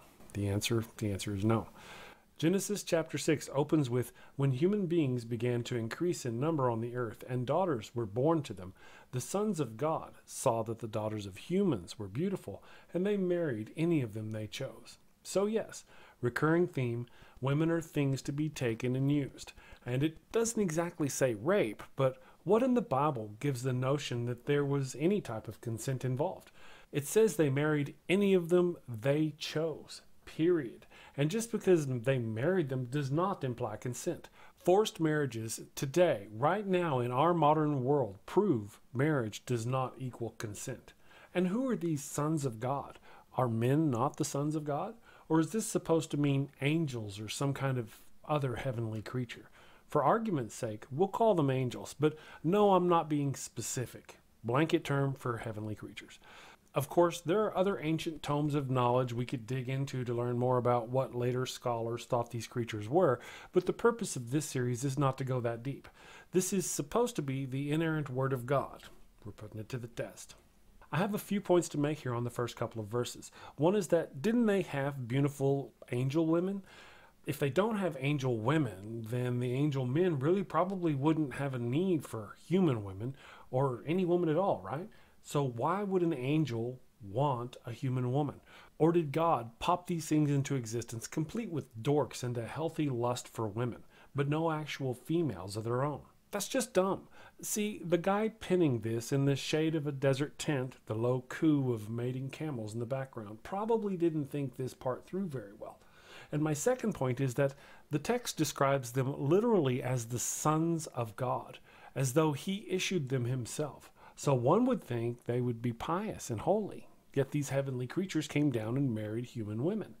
Did they build cities, sing songs, or do literally anything else in the universe before they went sex happy for human women? Nope. It reads like they popped into existence for the sole purpose of running a sex riot on mankind, and God just let them. God could learn a thing or two about crafting a backstory from George Lucas. I'm, I'm just saying. Oh, sure, God got mad later, but apparently he did nothing to stop this interspecies sex romp. And it should be noted, however, that nowhere does it state the marriage of the sons of God to the daughters of humans was a sin, or bad, or wicked. Neither does it infer the presence of the Nephilim as bad or wicked. Humans are the only things described as wicked in this chapter. And another thing, it directly implies that human women are so beautiful they tempted these heavenly beings. Yet us men are expected to rein ourselves in around them? Hmm. Remember, scriptures like these are often used to justify forcing women into modesty, to contain their beauty so us men won't be forced into sin. Also, if there are angel females, do they have to cover their hair and live in modesty in heaven? Hmm. A quick change of subject. I want to point out that the very next verse, Genesis 6, verse 3, where the Bible says, Then the Lord said, My spirit will not contend with humans forever, for they are mortal. Their days will be 120 years. So, right there, it states that God does not want to spend eternity with humans and that they will die. It does not say they will have an eternal afterlife. It does not say that we'll go to heaven. Do not pass, do not collect $200. I repeat, living with humans on an eternal scale seem to be explicitly against the wishes of God. No afterlife, no heaven, 120 years tops, then you're out. Okay, onward and upward. So far, we've only covered the first three verses of the chapter. Verse 4 names the Nephilim, says they were here before and after the sons of God came and enjoyed the human women, says they were heroes of old, then that's it. They're done. All that wrapped up into a single line and then forgotten. Wasting my time. But now we, we start to get to the good stuff. For the first four verses, it essentially talks about how God let his heavenly pets loose on mankind to rape, pillage, corrupt, and plunder. The next two verses are God getting pissed and flipping tables because of the wickedness of man. Verse 5 The Lord saw how great the wickedness of the human race had become on earth, and that every inclination of the thoughts of human heart was only evil all the time. The Lord regretted that he had made human beings on the earth, and his heart was deeply troubled. So the Lord said, I will wipe from the face of the earth the human race I have created, and with them the animals, the birds, and the creatures that move along the ground, for I regret that I have made them. What other methods did God use to stop the wickedness? Did he stop the sons of God and the Nephilim from corrupting his pet humans? No. Notice how, despite letting man get tainted by these non human creatures, he blames man, and especially women, of course, for the indiscretion. Does it say he sent prophets to teach them and warn them? No. And what happened to the sons of God and the Nephilim? Despite how wicked the sons of God sound, the verse specifically says the Lord saw how great the wickedness of the human race had become. No mention of any punishment to, for any of these outside instigators. It was presumed the Nephilim and the sons of God were killed in the flood, but it doesn't say so directly. Man, once again, literally being set up to fail by the evil God monster of Abraham. Another nod to you, unknown desert scholar. But look, here we are, six freaking chapters deep into this book of love by the God of mercy, and there's no talk of culture, art, music, medicine, love, romance, poetry, forgiveness, the successful cities that had been created under his rule. Nothing. No wonder, no glory, no magnificence at all. The first three chapters are about creation and how women are little more than birth slaves. The fourth chapter is a riveting MMA style tale about God instigating the very first children born in this world to fight to the death for his love and attention. Then a wasted chapter trying to prove Noah is descended from Adam. That's it. No glory, mercy, or tenderness of love in all of God's creation. Think about that for a moment. Let it sink in.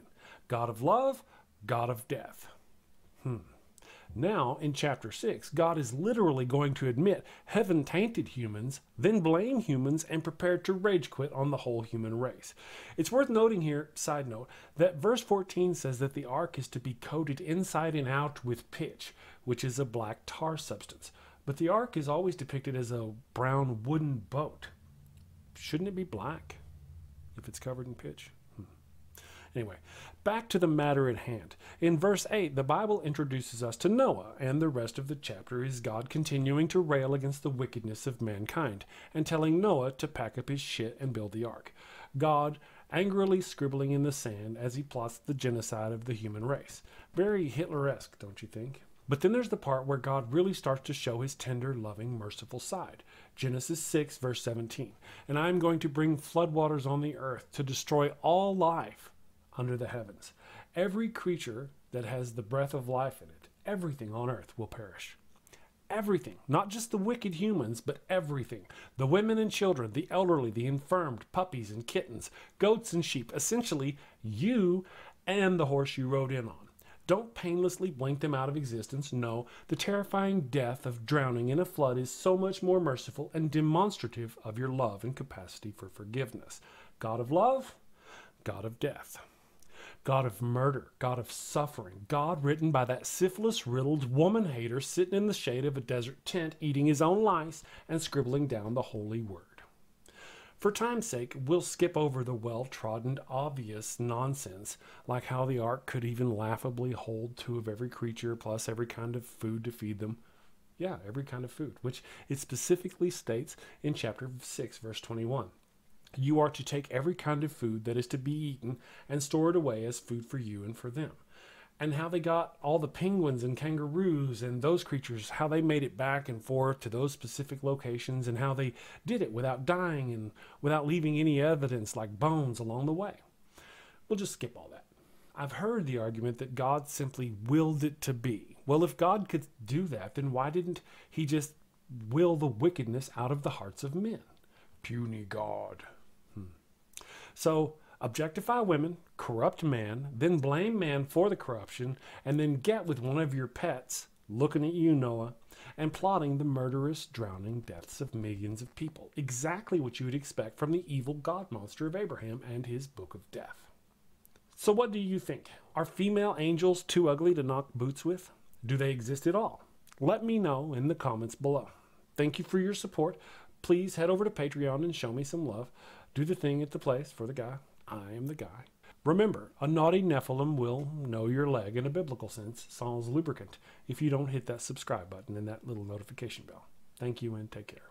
Hello, all. Chris Mallard here, atheist extraordinaire, host of the Daily Atheist Morning Show, and currently burning in hell. Oh, don't worry about me. I'm not dead. I'm just down here for the annual Christmas party. I mean, I mean, annual solstice awards party. The Dark One, or Lucy as he is affectionately known, is personally handing out the awards. Aaron Ra is getting the award for the most souls brought down by evolution for his African fossil hunt, and Matt Dillahunty has won the Golden Phallus Award for being a dick to the most Christians.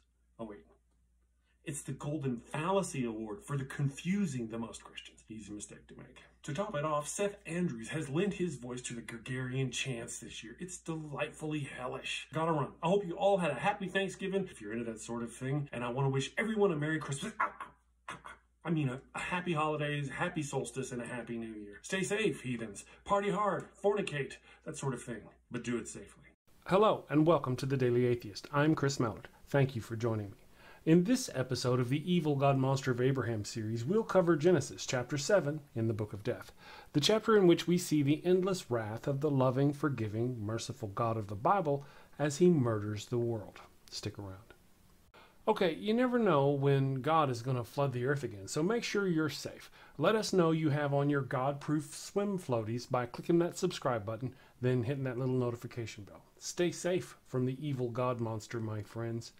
Now, on with the show.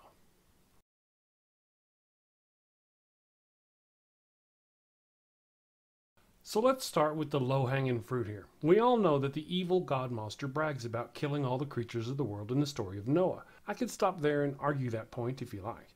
We could once again talk about the innocent babies and kittens, puppies, elderly, infirm, sinful, and innocent alike who didn't just die but were horrifyingly drowned in a flood.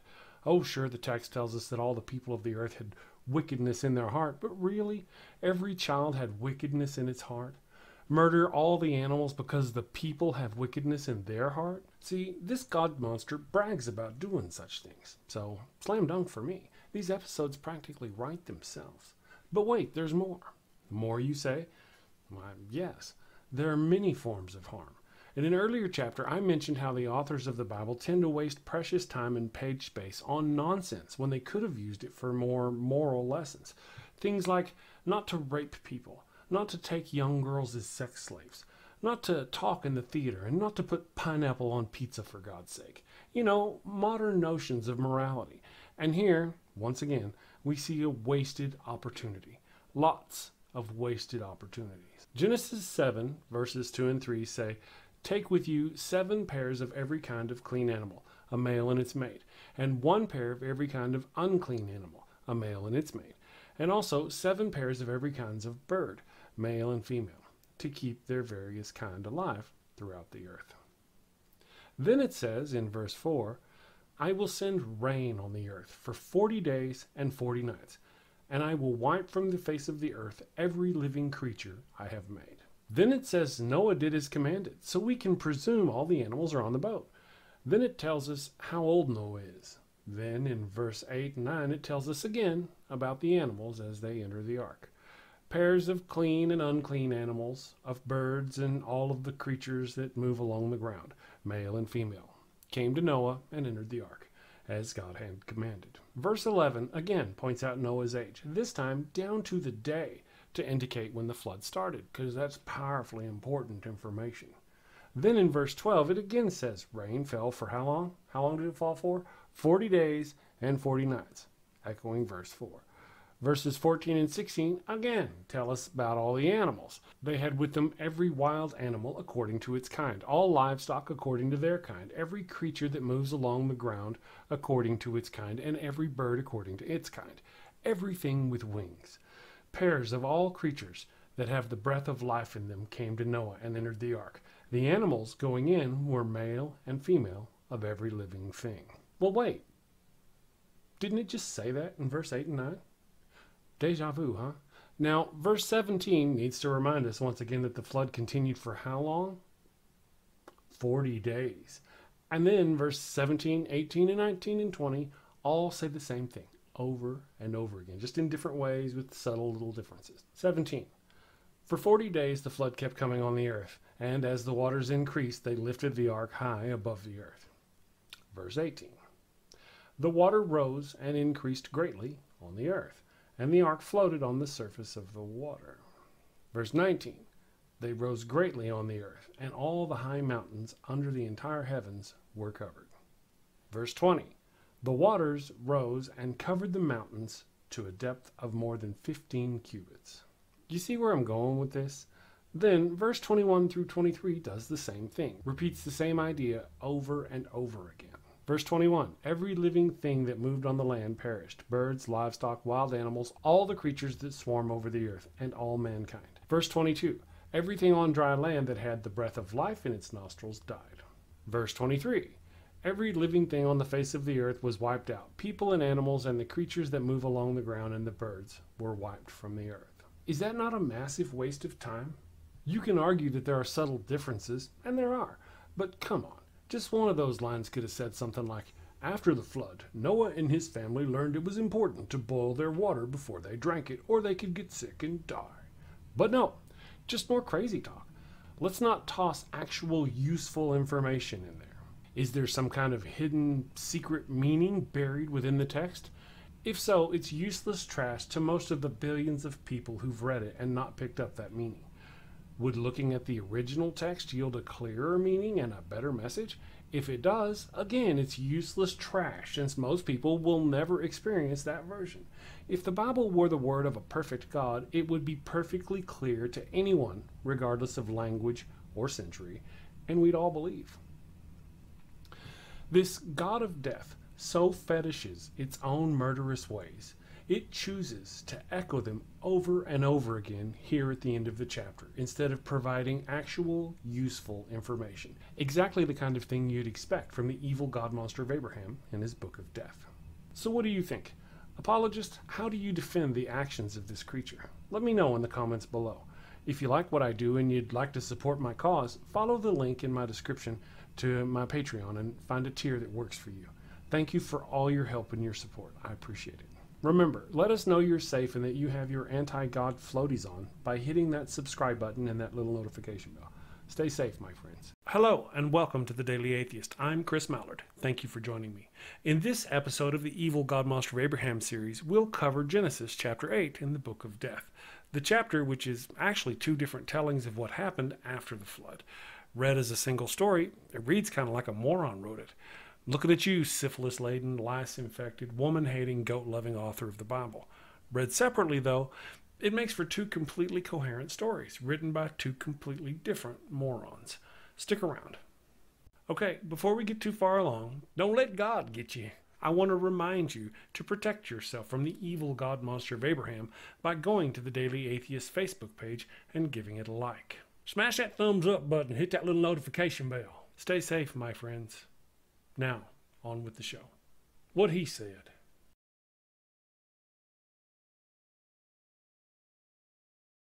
Okay, so as I was reading chapter 8, I started to make some points about how crazy it all seemed. Then something hit me. It's not actually one story, it's two completely different tellings of the same story. Let's take a look at these two versions. Chapter 8, verses 1 through 5, are actually two separate introductions to the two different versions of the story jammed together. Version 1 Verse 1 But God remembered Noah and all the wild animals and the livestock that were with him in the ark, and he sent a wind over the earth, and the waters receded. Introduction of version 2, which is verses 2 through 3.5.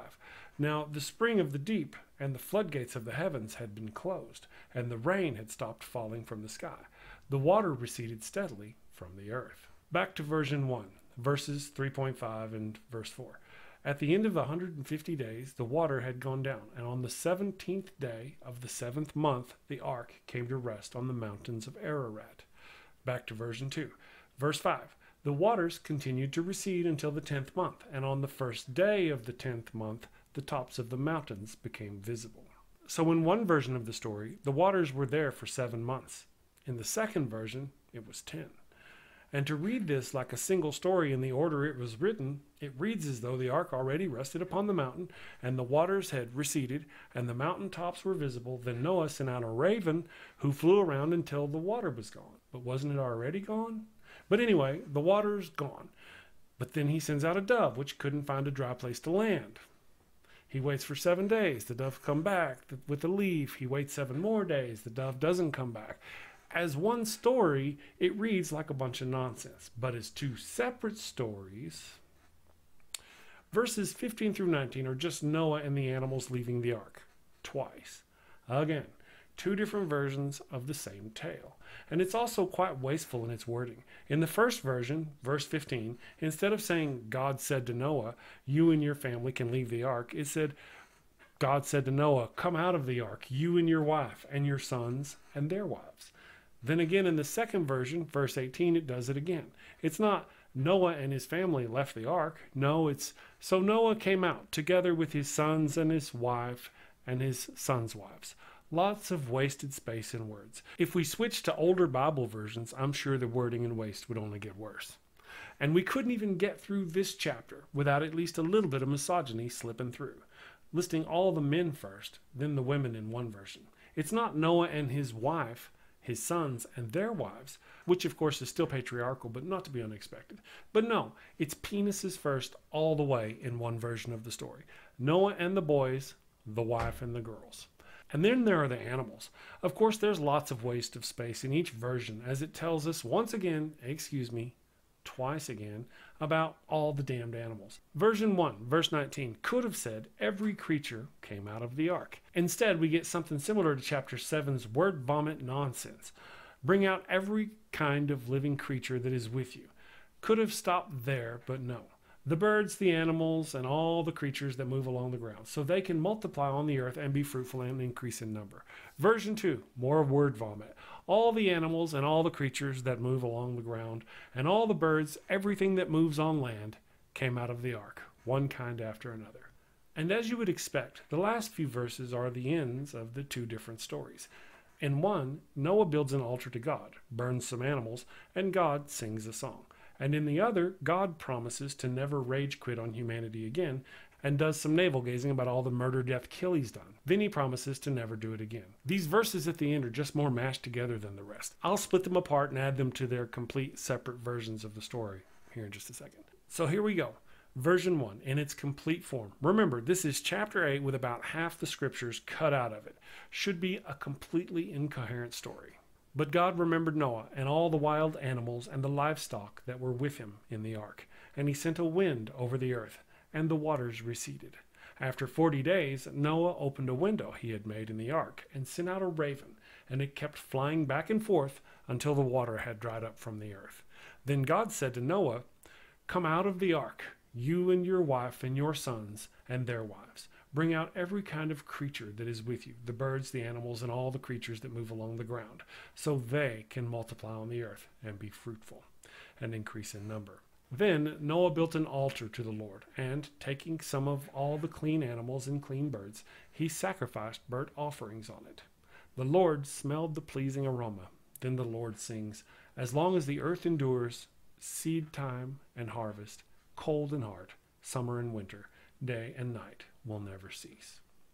See what I mean by sings? Looks like the Almighty rocks it a cappella at this point. Remember, before reading version 1, I said I'd removed half the scriptures from the chapter? Well, here are those scriptures. Again, if I'm wrong, this should sound like a bunch of complete nonsense. Here we go. Version 2. Now, the springs of the deep and the floodgates of the heavens had been closed, and the rain had stopped falling from the sky the waters receded steadily from the earth. The waters continued to recede until the tenth month, and on the first day of the tenth month the tops of the mountains became visible. Then he sent out a dove to see if the water had receded from the surface of the ground. But the dove could find nowhere to perch, because there was water all over the surface of the earth. So it returned to Noah in the ark. He reached out his hand and took the dove and brought it back to himself in the ark. He waited seven more days and again sent out the dove from the ark. When the dove returned to him in the evening, there in its beak was a freshly plucked olive leaf. Then Noah knew that the water had receded from the earth. He waited seven more days and sent the dove out again, but this time it did not return. So Noah came out, together with his sons and his wife and his sons' wives, all the animals and all the creatures that moved along the ground, and all the birds, Everything that moves on land came out of the ark, one kind after another. Then the Lord said, Never again will I curse the ground because of humans, even though every inclination of the human heart is evil from childhood. And never again will I destroy all living creatures as I have done. There you have it, two completely different tellings of the same story, but with some minor detail differences. But Chris, where does the evil God monster part come in, you ask? Didn't you know? Genesis chapter 8 is the first time we hear God admit to liking the smell of burning flesh. Yes, the God of love and mercy loves it when you kill an animal and burn its flesh. And it's not that they kill the animal so they can eat it. At this point in the story, people don't eat animals, only plants. Well, at least according to the next chapter where God specifically tells man to start eating the animals. So apparently, they killed these animals for no reason other than to burn their flesh, so the Lord could enjoy the smell. Exactly what you'd expect from the evil God monster of Abraham and its book of death. So, what do you think? Do you agree with me that there are two similar but different stories being jammed together here? Let me know in the comments below. If you like what I do and you'd like to support my cause, follow the link in the description below to my Patreon and find a tier that works for you. Remember, liking the Daily Atheist Facebook page can protect you. Don't let that God thing smell your burning flesh. From the evil God monster of Abraham. Hit that subscribe button and then that little notification bell. Thank you and take care. Peace. Hello and welcome to the Daily Atheist. I'm Chris Mallard. Thank you for joining me. In this episode of the evil God monster of Abraham, we'll cover Genesis chapter 9 in the Book of Death the chapter in which God dooms the animals, officially, to be food for humans, and his current favorite human, Noah, gets drunk and curses an innocent child to a life of slavery for the actions of its father. Loving, merciful fun for the whole family. Stick around. Friends, protect yourself from the curses of an angry, drunken Noah by clicking that subscribe button and hitting that little notification bell. Stay safe, my friends. Now, on with the show.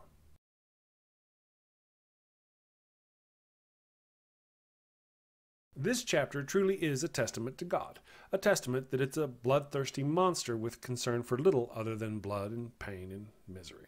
It also, again, shows us how multiple tellings of the same story have been jammed together to make a single, almost unintelligible tale. So, as with the last chapter, we still have two concurrent stories being told here, which is why in verse 1 of chapter 9, God tells Noah and his sons to be fruitful and multiply, and why it does it again in verse 7.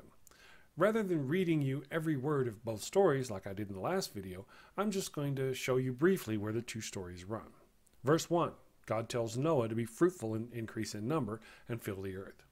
Verse 7 God says it again Be fruitful and increase in number, multiply on the earth and increase upon it. Verse 2 God tells Noah all animals will fear man and that they are given into your hands. Verse 3 says the same thing but shorter and more direct. Everything that moves about will be food for you. I give you everything. Verse 4 actually looks like it should be tacked on to the end of verse 3. I give you everything, but don't eat meat with lifeblood still in it. Stop. Next paragraph, similar theme, separate idea. It's still about blood, but the thoughts are completely different. Now it's about killing people.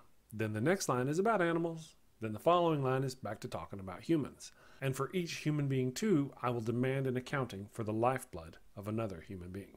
Do we have to account for every animal we kill, or is it saying animals will have to account for any humans they kill? Hard to say. Moving on. As with one of the two stories comprising the previous chapter, the God in this chapter also likes to sing. Does the God of peace and love sing of mercy and forgiveness or joy and happiness? Hell no. Not surprisingly, it sings about blood and retribution. Genesis 9, verse 6 Whoever sheds human blood, by humans shall their blood be shed. For in the image of God has God made mankind. The God of death loves blood. If blood is spilled, only more blood will satiate this monster. No turning the other cheek here, no mention of mercy. Now, this whole paragraph, containing verses 8 through 11, is repeated in verse 12 through 16. Yeah, there are some differences, like the latter version has rainbows, but clearly they're two versions of the same thing with slight differences. Again, two stories jammed into one. So now that I'm done talking about the two in one angle, let's look at the morality of this evil god monster and its favorite humans throughout the chapter. The first part of both stories is God telling Noah and his sons to be fruitful and multiply. Then God gives man dominion over the animals. I want to take a moment to point out that at this point in the story, animals have done nothing, nothing, and played no role other than being passengers on Noah's ark and being used as burnt offerings to God. And now they are being subject to being killed and eaten by man. And not just that, but God even specifically says in verse 2 the fear and dread of you will fall on all the beasts of the earth. Again, no mention of mercy or love, just fear and dread, blood and suffering in this God creature's book.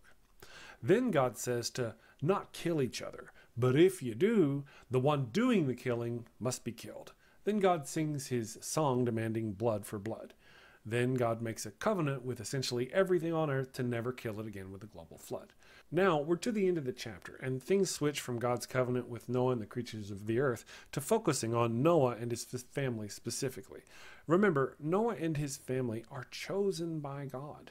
First, for context, let's hearken back to chapter 6, verse 9, which says, This is the account of Noah and his family. Noah was a righteous man, blameless among the people of his time, and he walked faithfully with God. And chapter 7, verse 1 The Lord then said to Noah, Go into the ark, you and your whole family, because I have found you righteous in this generation. And finally, Genesis 9, verse 1 Then God blessed Noah and his sons, saying to them, Be fruitful and increase in number and fill the earth. So these are supposed to be the best of the best. Literally, God's chosen, specifically saved by God to repopulate the earth. So, what's the first thing Noah does after he gets off the ark and burns some animals, of course? Well, he builds a winery. They are literally still living in tents, and this guy makes a winery. Then he gets drunk and passes out naked in his own tent, which apparently is a bad thing. His youngest son, Ham, goes into the tent, sees him naked, and then goes outside and tells his brothers, who then cover Noah up without seeing him naked. Then Noah wakes up, finds out that his son Ham saw him naked, and then he does what? Multiple choice. He thanks Ham for letting someone know and getting him covered up. He forgives Ham for seeing him naked. He asks forgiveness from his family for becoming so drunk and not covering his junk. He curses his own grandson, Ham's innocent son, Canaan, to a life of slavery for Ham's actions. Hmm. Remember, before you answer, this is Noah, chosen above all others because of his rightness with God. Hmm. Yep, you guessed it. He cursed an innocent child to slavery. Genesis 9, verses 24 through 27 says, When Noah awoke from his wine and found out what his youngest son had done to him, he said, Cursed be Canaan, the lowest of slaves will he be to his brothers. He also said, Praise be to the Lord, the God of Shem. May Canaan be the slave of Shem. May God extend Japheth's territory. May Japheth live in the tents of Shem, and may Canaan be the slave of Japheth. A quick shout out to Canaan and Japheth if you're watching. Sorry if I'm saying your name wrong, guys. Sorry. Japheth? Japheth. Canaan. Canaan. Either way. Sorry, guys. So, to wrap up chapter 9, God gives animals to humans for food. Lucky animals.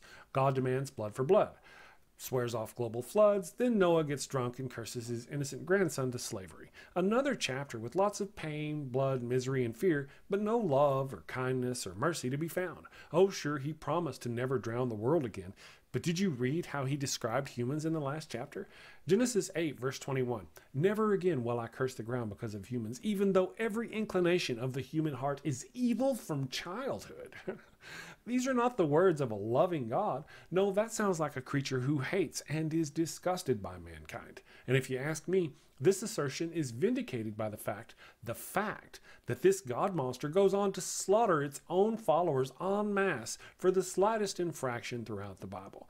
You really can't argue this point because God literally just finished killing off the entire human race except Noah and his family. And not to put too fine a point on it, Noah's descendants will be slaughtering each other in no time on the command of God. Who does Moses, a descendant of Shem, the son of Noah, slaughter on his way to the promised land? That's right, the Canaanites, the descendants of Ham, the son of Noah. Murder, death, kill, murder, death, kill, murder, death, kill. Exactly what you'd expect from the evil God monster of Abraham and its book of death. So, what do you think? Do you still see the two different stories being jammed together here? Can you find love and mercy hidden among the fear mongering and death in this chapter? Let me know in the comments below. If you like what I do and you'd like to support my cause, follow the link in the description below to my Patreon and find a tier that works for you. Remember, ward off any drunken Noah curses by hitting that subscribe button and then that little notification bell. Thank you and take care. Hello, thank you for watching my Evil God Monster of Abraham series. So far, I've got 13 episodes up, and I'm uh, I've just now added some more of my Quickie with a Skeptic episodes, kind of peppered in for you. I uh, hope you like it. Um, let me know what you think in the comments below. Thank you, and take care. Yes, stupidity can kill. Today I'm angry, frustrated at what I see as intentional stupidity in our world that literally kills people. Hello, and welcome to the Daily Atheist, Quickie with the Skeptic Edition, Episode 3.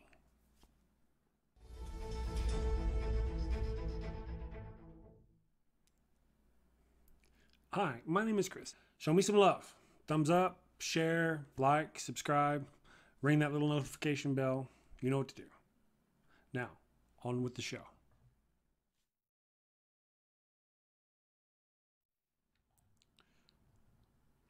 A 13 year old boy named Edgar Lopez died in August of 2014. Not because his parents followed the advice of an herbalist and stopped giving their son his insulin. No.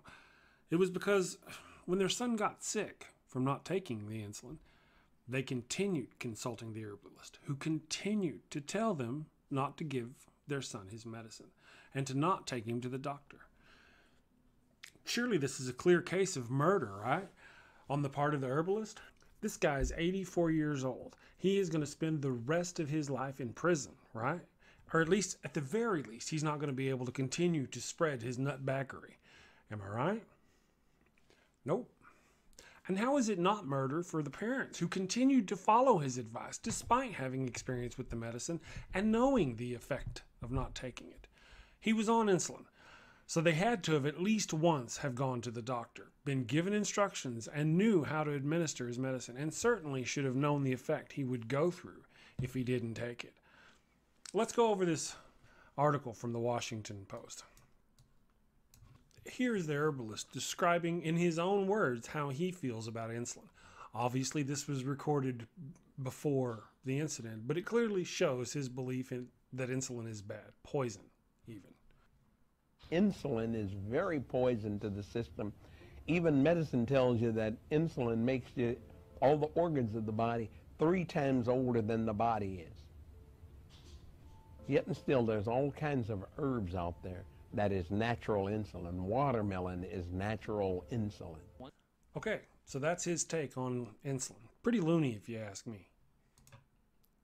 Now, I realize the parents probably don't have a very good education and they don't speak English, but I find it difficult to believe that they believed him when he said it was poison and that their child would get killed at the hospital. That's just stupid. It's ridiculous. Read that as worthy of ridicule not only to make such a claim, but that anyone would believe it. Also, further down in the article, the father says that Morrow told them the for profit American healthcare system benefited from making sure people stayed sick. So, which is it?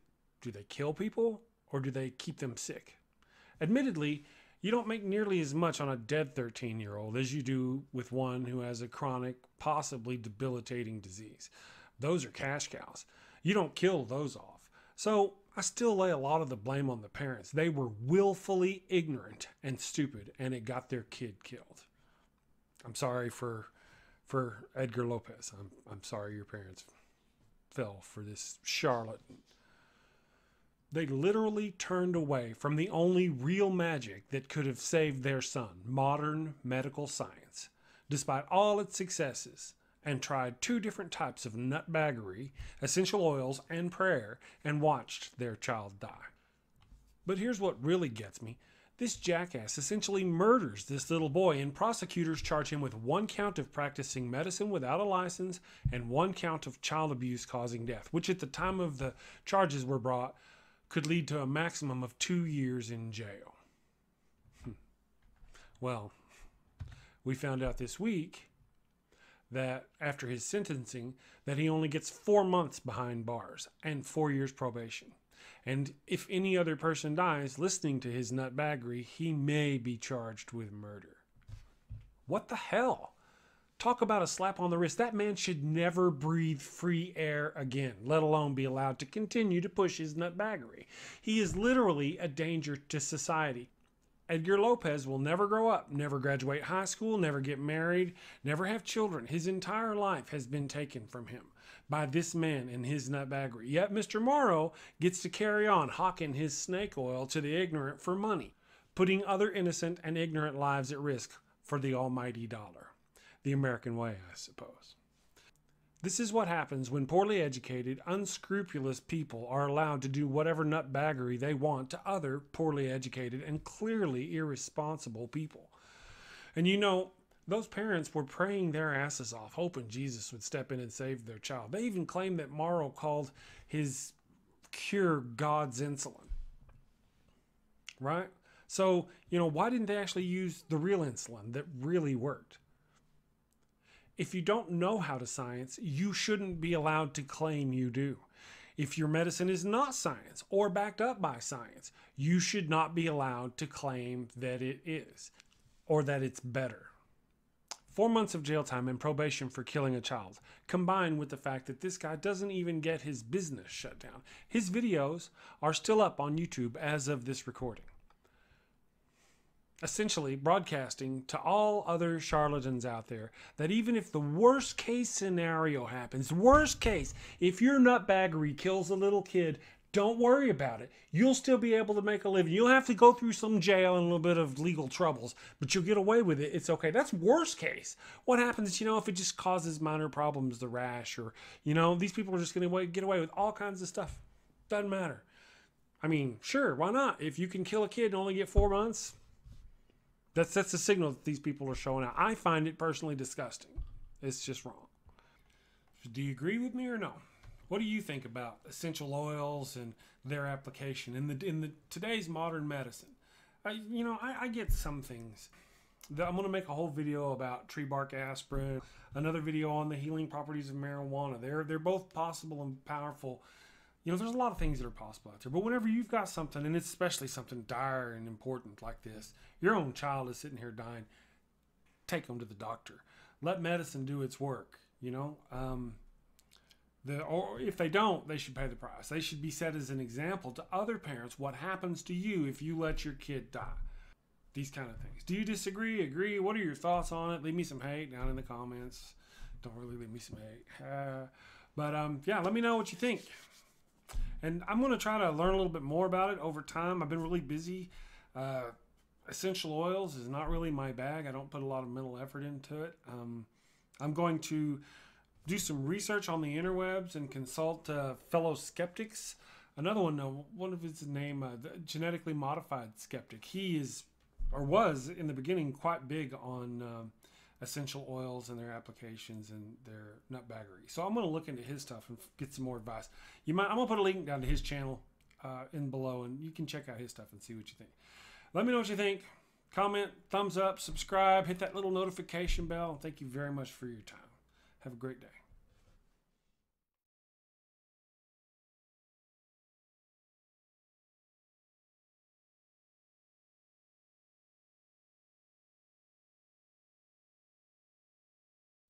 Hello, and welcome to the Daily Atheist. I'm Chris Mallard. Thank you for joining me. In this episode of the Evil God Monster of Abraham series, we'll cover Genesis chapter 10 and the Book of Death, the chapter in which God's chosen people from the flood repopulate the earth, the entire earth repopulated without mention of a single woman. Stick around. Thank you for following my nutbaggery through these 10 chapters of the Bible. Become a full fledged junior birdman and show your support by clicking that subscribe button and then hitting that little notification bell. And don't forget to give me a thumbs up. Now, on with the show.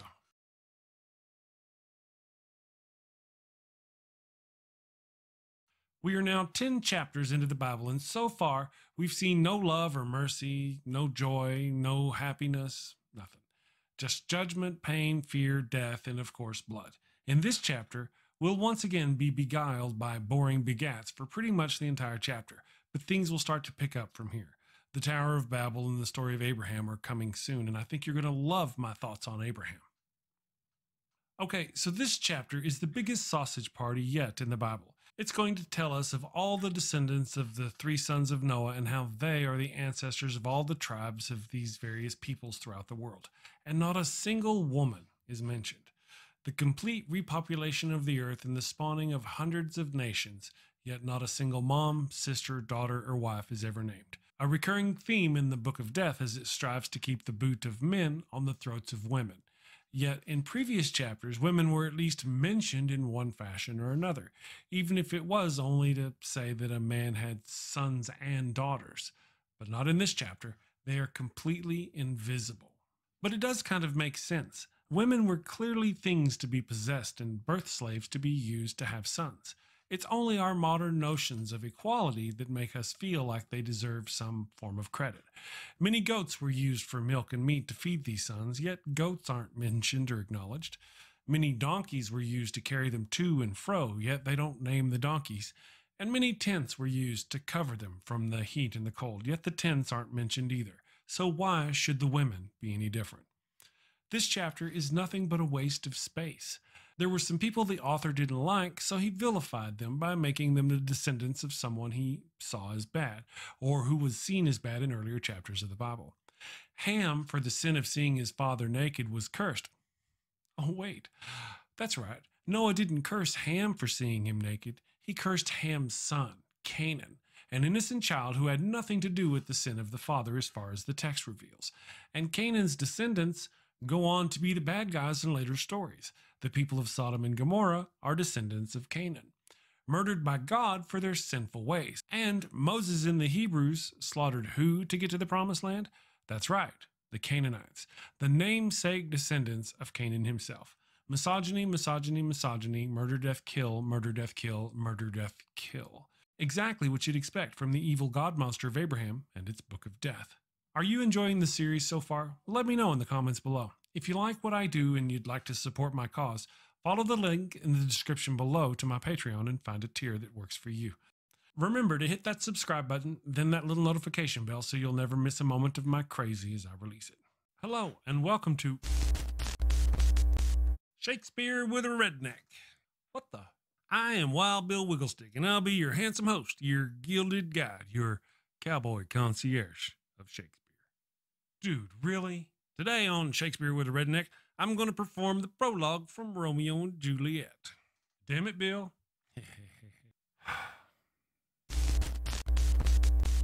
Two households, both alike in dignity in fair Verona, where we lay our scene. From ancient grudge break to new mutiny, where civil blood makes civil hands unclean.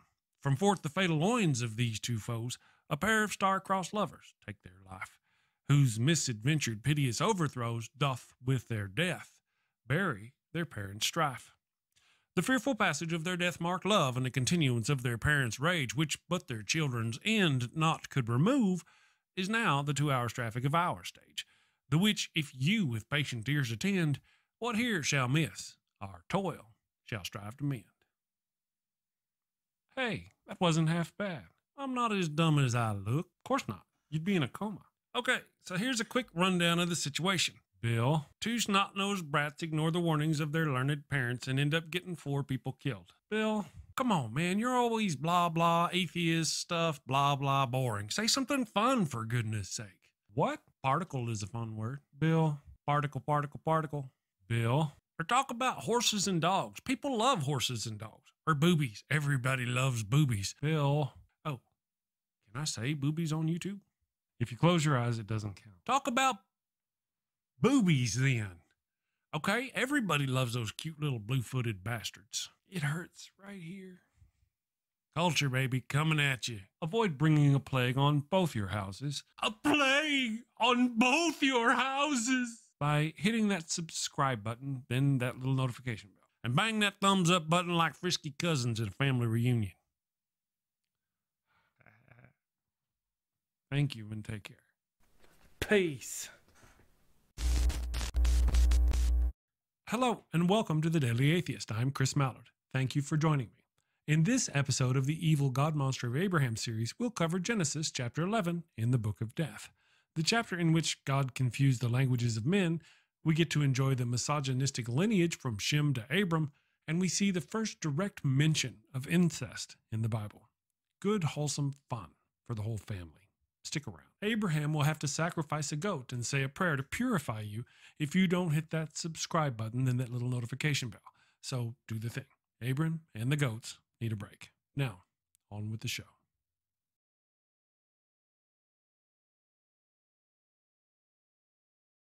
Just a quick primer about chapter 11 in Genesis. It's broken into three parts. Part 1 is the story of the city of Babel. Part 2 is more useless begats running from Shem to Abram more wasted space as they already covered most of the lineage in the previous chapter.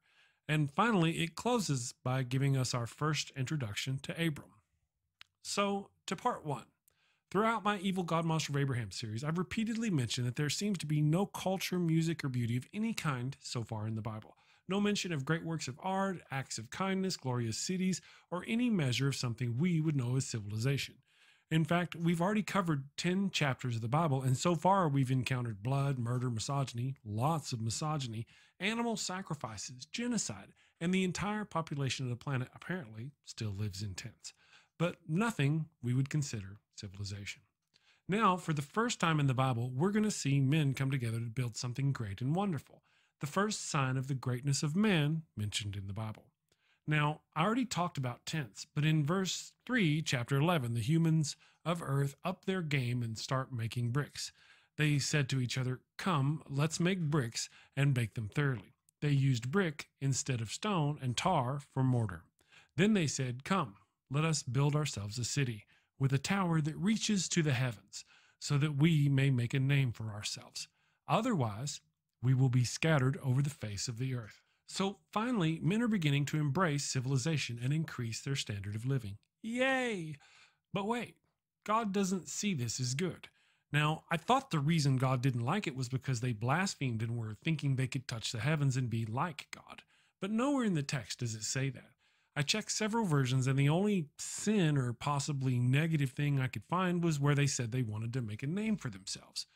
That's it. Nowhere, so far, does it say making a name for oneself is a bad thing. There's simply no good reason listed in the Bible as to why God would want to scatter people over the earth and confuse their languages. It reads as though God came down, saw that men were working together in peace and harmony, and became offended by their progress. Genesis chapter 11, verses 5 through 7. But the Lord came down to see the city and the tower the people were building. The Lord said, If, as one people speaking the same language, they have begun to do this, then nothing they plan to do will be impossible for them. Now, at this point, you'd think he'd be proud. It sounds like he just gave them a huge compliment, mad props and whatnot. When you work together, you can accomplish anything. But let's continue reading because that's not what he meant. The God monster goes on. Nothing they plan to do will be impossible for them. Come, let us go down and confuse their language so they will not understand each other. Together they can do anything, and we can't have that shit.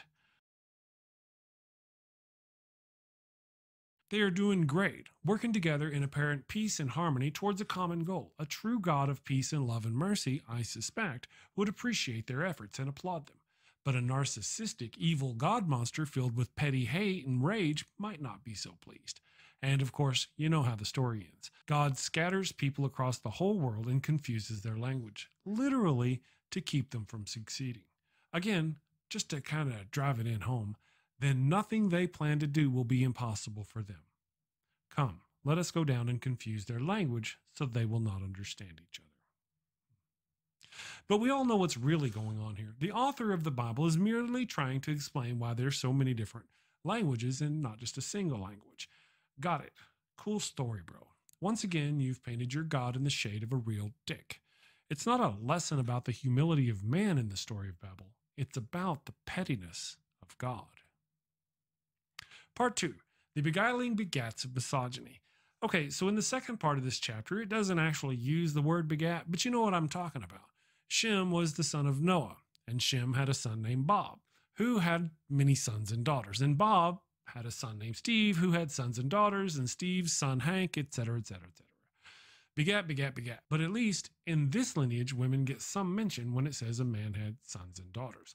Otherwise, females are once again completely left out. Ten generations of a family line, and not a single wife, daughter, or mother is named. A mind numbingly boring waste of text, space, and time. On to part three. We meet the father of the Abrahamic religion, and we see direct biological and marital incest in the Bible for the first time. Terah had three sons Abram, who would later go on to become Abraham, Nahor, and Haran. Haran had a son, Lot. Then he dies. And then we come to verse 29 of chapter 11 of Genesis. Abram and Nahor both married. The name of Abram's wife was Sarai, and the name of Nahor's wife was Milcah. She was the daughter of Haran, the father of both Milcah and Ishka. Oh, wait, wait, wait. Nahor's wife is the daughter of Haran? So so Abram's brother was married to his own niece, the daughter of his other dead brother? Yep.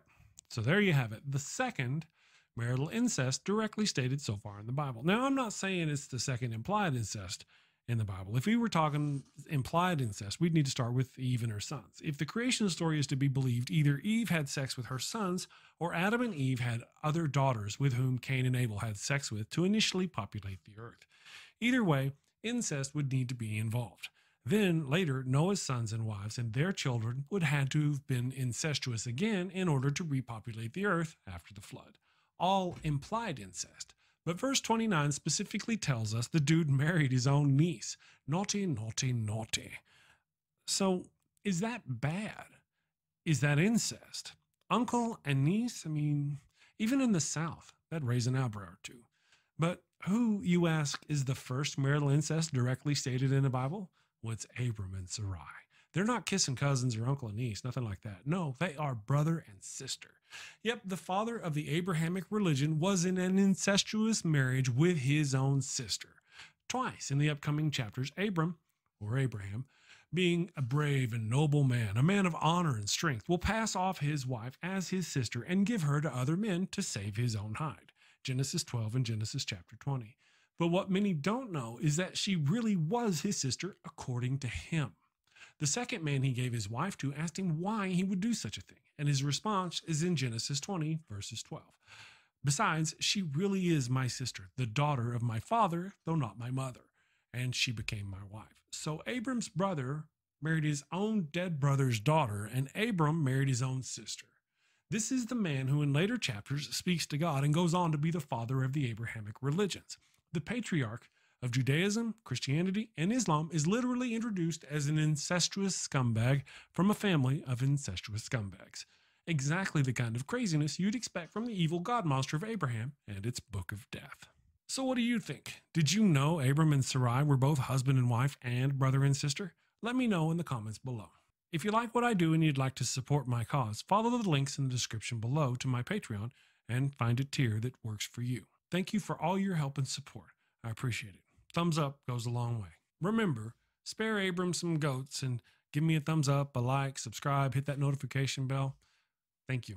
Hello, and welcome to the Daily Atheist. I'm Chris Mallard. Thank you for joining me. In this episode of the Evil God Monster of Abraham series, we'll cover Genesis chapter 12 and the Book of Death the chapter in which Abram leaves his father's home, moves to Egypt, then he and his sister wife give the Pharaoh of Egypt a sexually transmitted disease. Stick around. Protect yourself from Abram's crotch cricket curse by reaching out and clicking that subscribe button, then hitting that little notification bell. Keep your jiggly bits safe, my friends. Now, on with the show.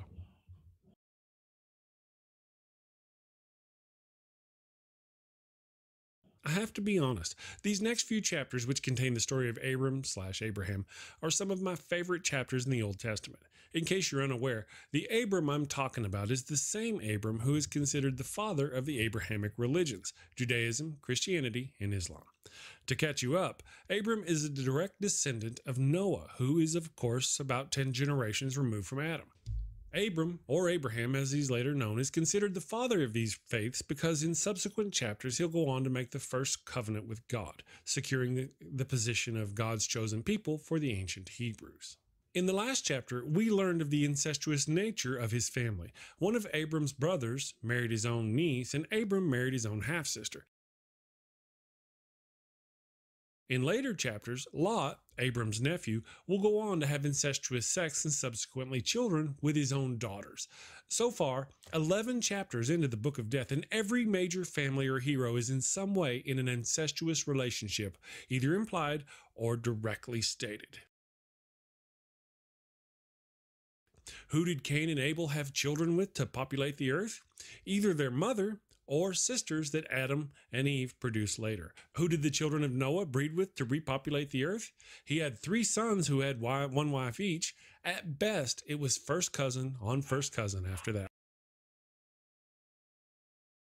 Then we get to Abram and his family, and the Bible directly tells us they married within their own family. Abram married his own sister, and his brother Nahor married his own niece.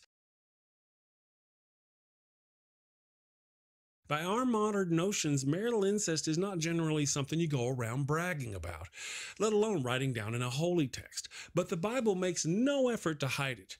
Of course, scientifically, we know the harms of inbreeding, such as physical deformities and mental handicaps.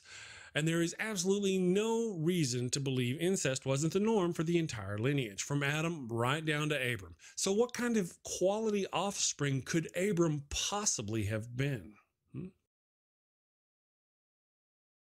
Now, on to chapter 12. This chapter opens with God telling Abram to leave his father's house and that God will make Abram a great nation. So the spry young Abram picks up his bride Sarai and his nephew Lot and they toddle off into the desert. Well, he's not really spry so much. Genesis 12, verse 4 says he was 75 years old when he left his father's household. And in Genesis chapter 17, we learn that Sarai is about 10 years younger than Abram. So we'll pin her at around 65 years old when they leave. They traveled to the land of Canaan, to the great tree of Moreh, then onto the hills east of Bethel. Then they set out for Negev, but a famine forced them down to Egypt. Now, here's where things get really interesting. As they were about to enter Egypt, he says, Genesis 12, verses 11 through 13, I know what a beautiful woman you are. When these Egyptians see you, they will say, This is his wife. Then they will kill me, but let you live. Say you are my sister, so that I will be treated well for your sake, and my life will be spared because of you. Wait, what? Yeah, based on what we know so far, Sarai is at least 65 years old and bred from the same incestuous stock as Abram, because they're brother and sister, right? And considering all the hard desert miles she's bound to have had on her and the lack of any modern form of dentistry, etc., I seriously doubt she's the oil of Olay model type of 65 plus. And yet here he is telling her that she's so beautiful, he'll get killed if she claims to be his wife. So she needs to pretend to be his sister. Really? That's just crazy. So that's how it was done in Egypt back in the day. If you saw a hot gilf passing through the town, the general rule was to murder her elderly husband and take her a prize. Hmm. Well, maybe. Genesis 12, 14, and 15. When Abram came to Egypt, the Egyptians saw that Sarai was a very beautiful woman. And when Pharaoh's officials saw her, they praised her to Pharaoh, and she was taken to his palace. Okay, so this dilapidated desert daisy was so beautiful that the Pharaoh's men saw her and were so taken by her that they felt the need to literally go tell the Pharaoh. And of all the young and beautiful women of Egypt, the Pharaoh ends up going for this gorgeous goat herding granny. Right. But you know what? Apparently it paid off. Genesis 12, verse 16 says, He, the Pharaoh, treated Abram well for her sake, and Abram acquired sheep and cattle, male and female donkeys, male and female servants, and camels. So, what do you think the Bible author means by for her sake? For her beauty or for her vagina? I find it highly unlikely in such a savage land as Egypt is being portrayed that the Pharaoh gave all that wealth just so he could simply look upon her beauty. And if all he wanted to do was gaze upon her grand granny goods, he could have done that whether she was Abram's sister, wife, brother. It, it, that, that doesn't matter, right? To add to the dripping misogyny, notice the reward doesn't go to her, it goes to Abram. She's used as little more than a streetwalker, and all the wealth goes to her pimp, uh, I mean, husband. I mean, it, it, sure looks like Abram is literally pimping his wife out to the Pharaoh. Is the lesson to be learned here that you can give your sister wife to another man as a method of acquiring wealth? Great moral grounding for a religion.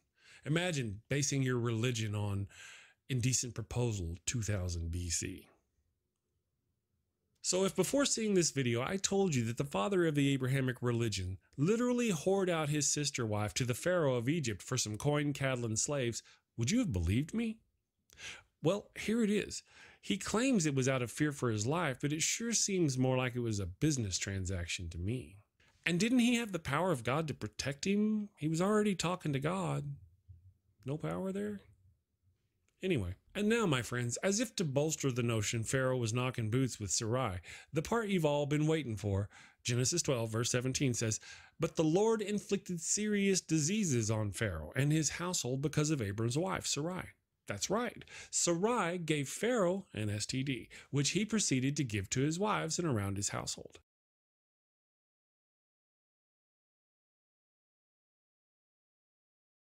As you can imagine, the Pharaoh was pissed. Verses 18 through 20. So Pharaoh summoned Abram.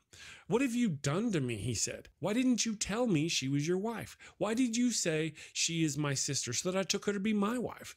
Now then, here is your wife. Take her and go. Then Pharaoh gave orders about Abram to his men, and they sent him on his way with his wife and everything he had. Notice, despite Pharaoh's anger, he didn't ask for anything back. Instead, he told him to take everything and go, because that's what you do when somebody gives you the cooties. You don't want anything from them. Take your shit and go. And so, you know, if Sarai had an STD, then Abram had it. Abram starts talking to an imaginary creature and eventually starts mutilating himself by cutting off the end of his dick. A trick he learned while they were in Egypt, by the way. But let's not jump too far ahead, okay? We'll get to that part soon enough. Hmm. Fodder for another chapter. So far, though, everything the Bible has had to say about Abram reflects very poorly about his character and his lineage. Yet this horror of a man is a prophet of God? Yep, but not of a kind, loving, gentle, merciful God. No, but this is exactly the kind of prophet you'd expect from the evil God monster of Abraham and its book of death. Hmm? If you like what I do and you'd like to support my cause, follow the link in the description below to my Patreon and find a tier that works for you. Thank you for all your help and support. I appreciate it. Remember, avoid getting the prophet plague on your crotch critter by clicking that subscribe button and hitting that little notification bell. Thank you and take care. Hello and welcome to the Daily Atheist. I'm Chris Mallard. Thank you for joining me. In this episode of the Evil God Monster of Abraham series, we'll cover Genesis chapter 13 in the Book of Death, the chapter in which Abram and Lot are so wealthy from their adventures in Egypt that they decide to go their separate ways. And Abram's imaginary God starts giving away other people's stuff. Stick around. Don't let shifty inbred prophets take your stuff in the name of their imaginary gods. Protect yourself by hitting that subscribe button and then that little notification bell. Stay safe, my friends. Now, on with the show.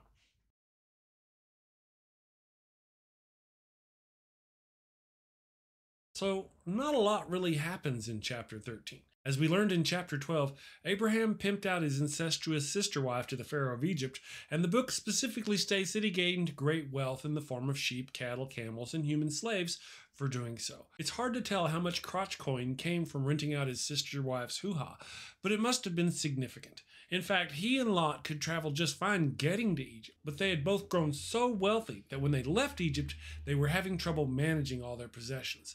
They traveled together for the bit then they had to go their separate ways. Genesis 13, verses 5 through 7. Now Lot, who was moving about with Abram, also had flocks of herds and tents. But the land could not support them while they stayed together, for their possessions were so great that they were not able to stay together. And quarreling arose between Abram's herders and Lot's. So they've grown so wealthy that they are having a hard time sharing the land, understandably. It's at this point that Abram comes up with the perfectly sensible notion of going their separate ways. Makes sense. Genesis 13, verses 8 and 9.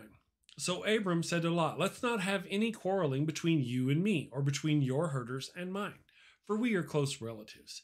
Is not the whole land before you? Let's part company. If you go to the left, I'll go to the right. If you go to the right, I'll go to the left.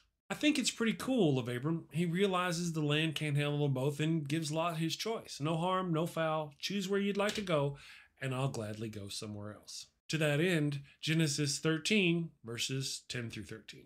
Lot looked around and saw that the whole plain of the Jordan towards Zoar was well watered, like a garden of the Lord, like the land of Egypt.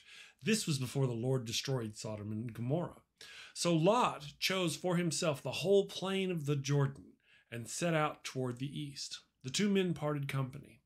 Abram lived in the land of Canaan, while Lot lived among the cities of the plain and pitched his tents near Sodom. Now the people of Sodom were wicked and were sinning greatly against the Lord. For the record, I'd like to point out that the inhabitants of Sodom and Gomorrah are also Canaanites, still vilifying the descendants of Ham. So at this point, Abram is giving away land he doesn't own to his nephew Lot. Then, just to keep things interesting, Abram's God does the same thing. It waits until Lot leaves, then it gives everything, including the land just given to Lot by Abram, to Abram. It's all his. His delusional God just hefted him the land of dozens of other tribes and peoples. And we know how land wars turn out. Genesis chapter 13, verse 14. The Lord said to Abram after Lot had parted from him, Look around from where you are, to the north and south, to the east and west. All the land that you see, I will give to you and your offsprings forever. I will make your offspring like the dust of the earth, so that if anyone could count the dust, then your offspring could be counted. Go, walk through the length and breadth of the land, for I am giving it to you. A recurring theme of taking land already owned and populated by someone else because a voice in your head told you to do so, no matter how many people suffer and die. Exactly what you'd expect from the evil God monster of Abraham and his book of death. If you'd like what I do and want to support my cause, follow the links in the description below to my Patreon and find a tier that works for you. Also, I have some wonderful merch. Again, links are in the description below. Thank you for all your support. I appreciate it. You guys are so wonderful. Remember, don't let the imaginary gods of dead prophets give away your crap by hitting that subscribe button, that little notification bell. Take care, my friends. You.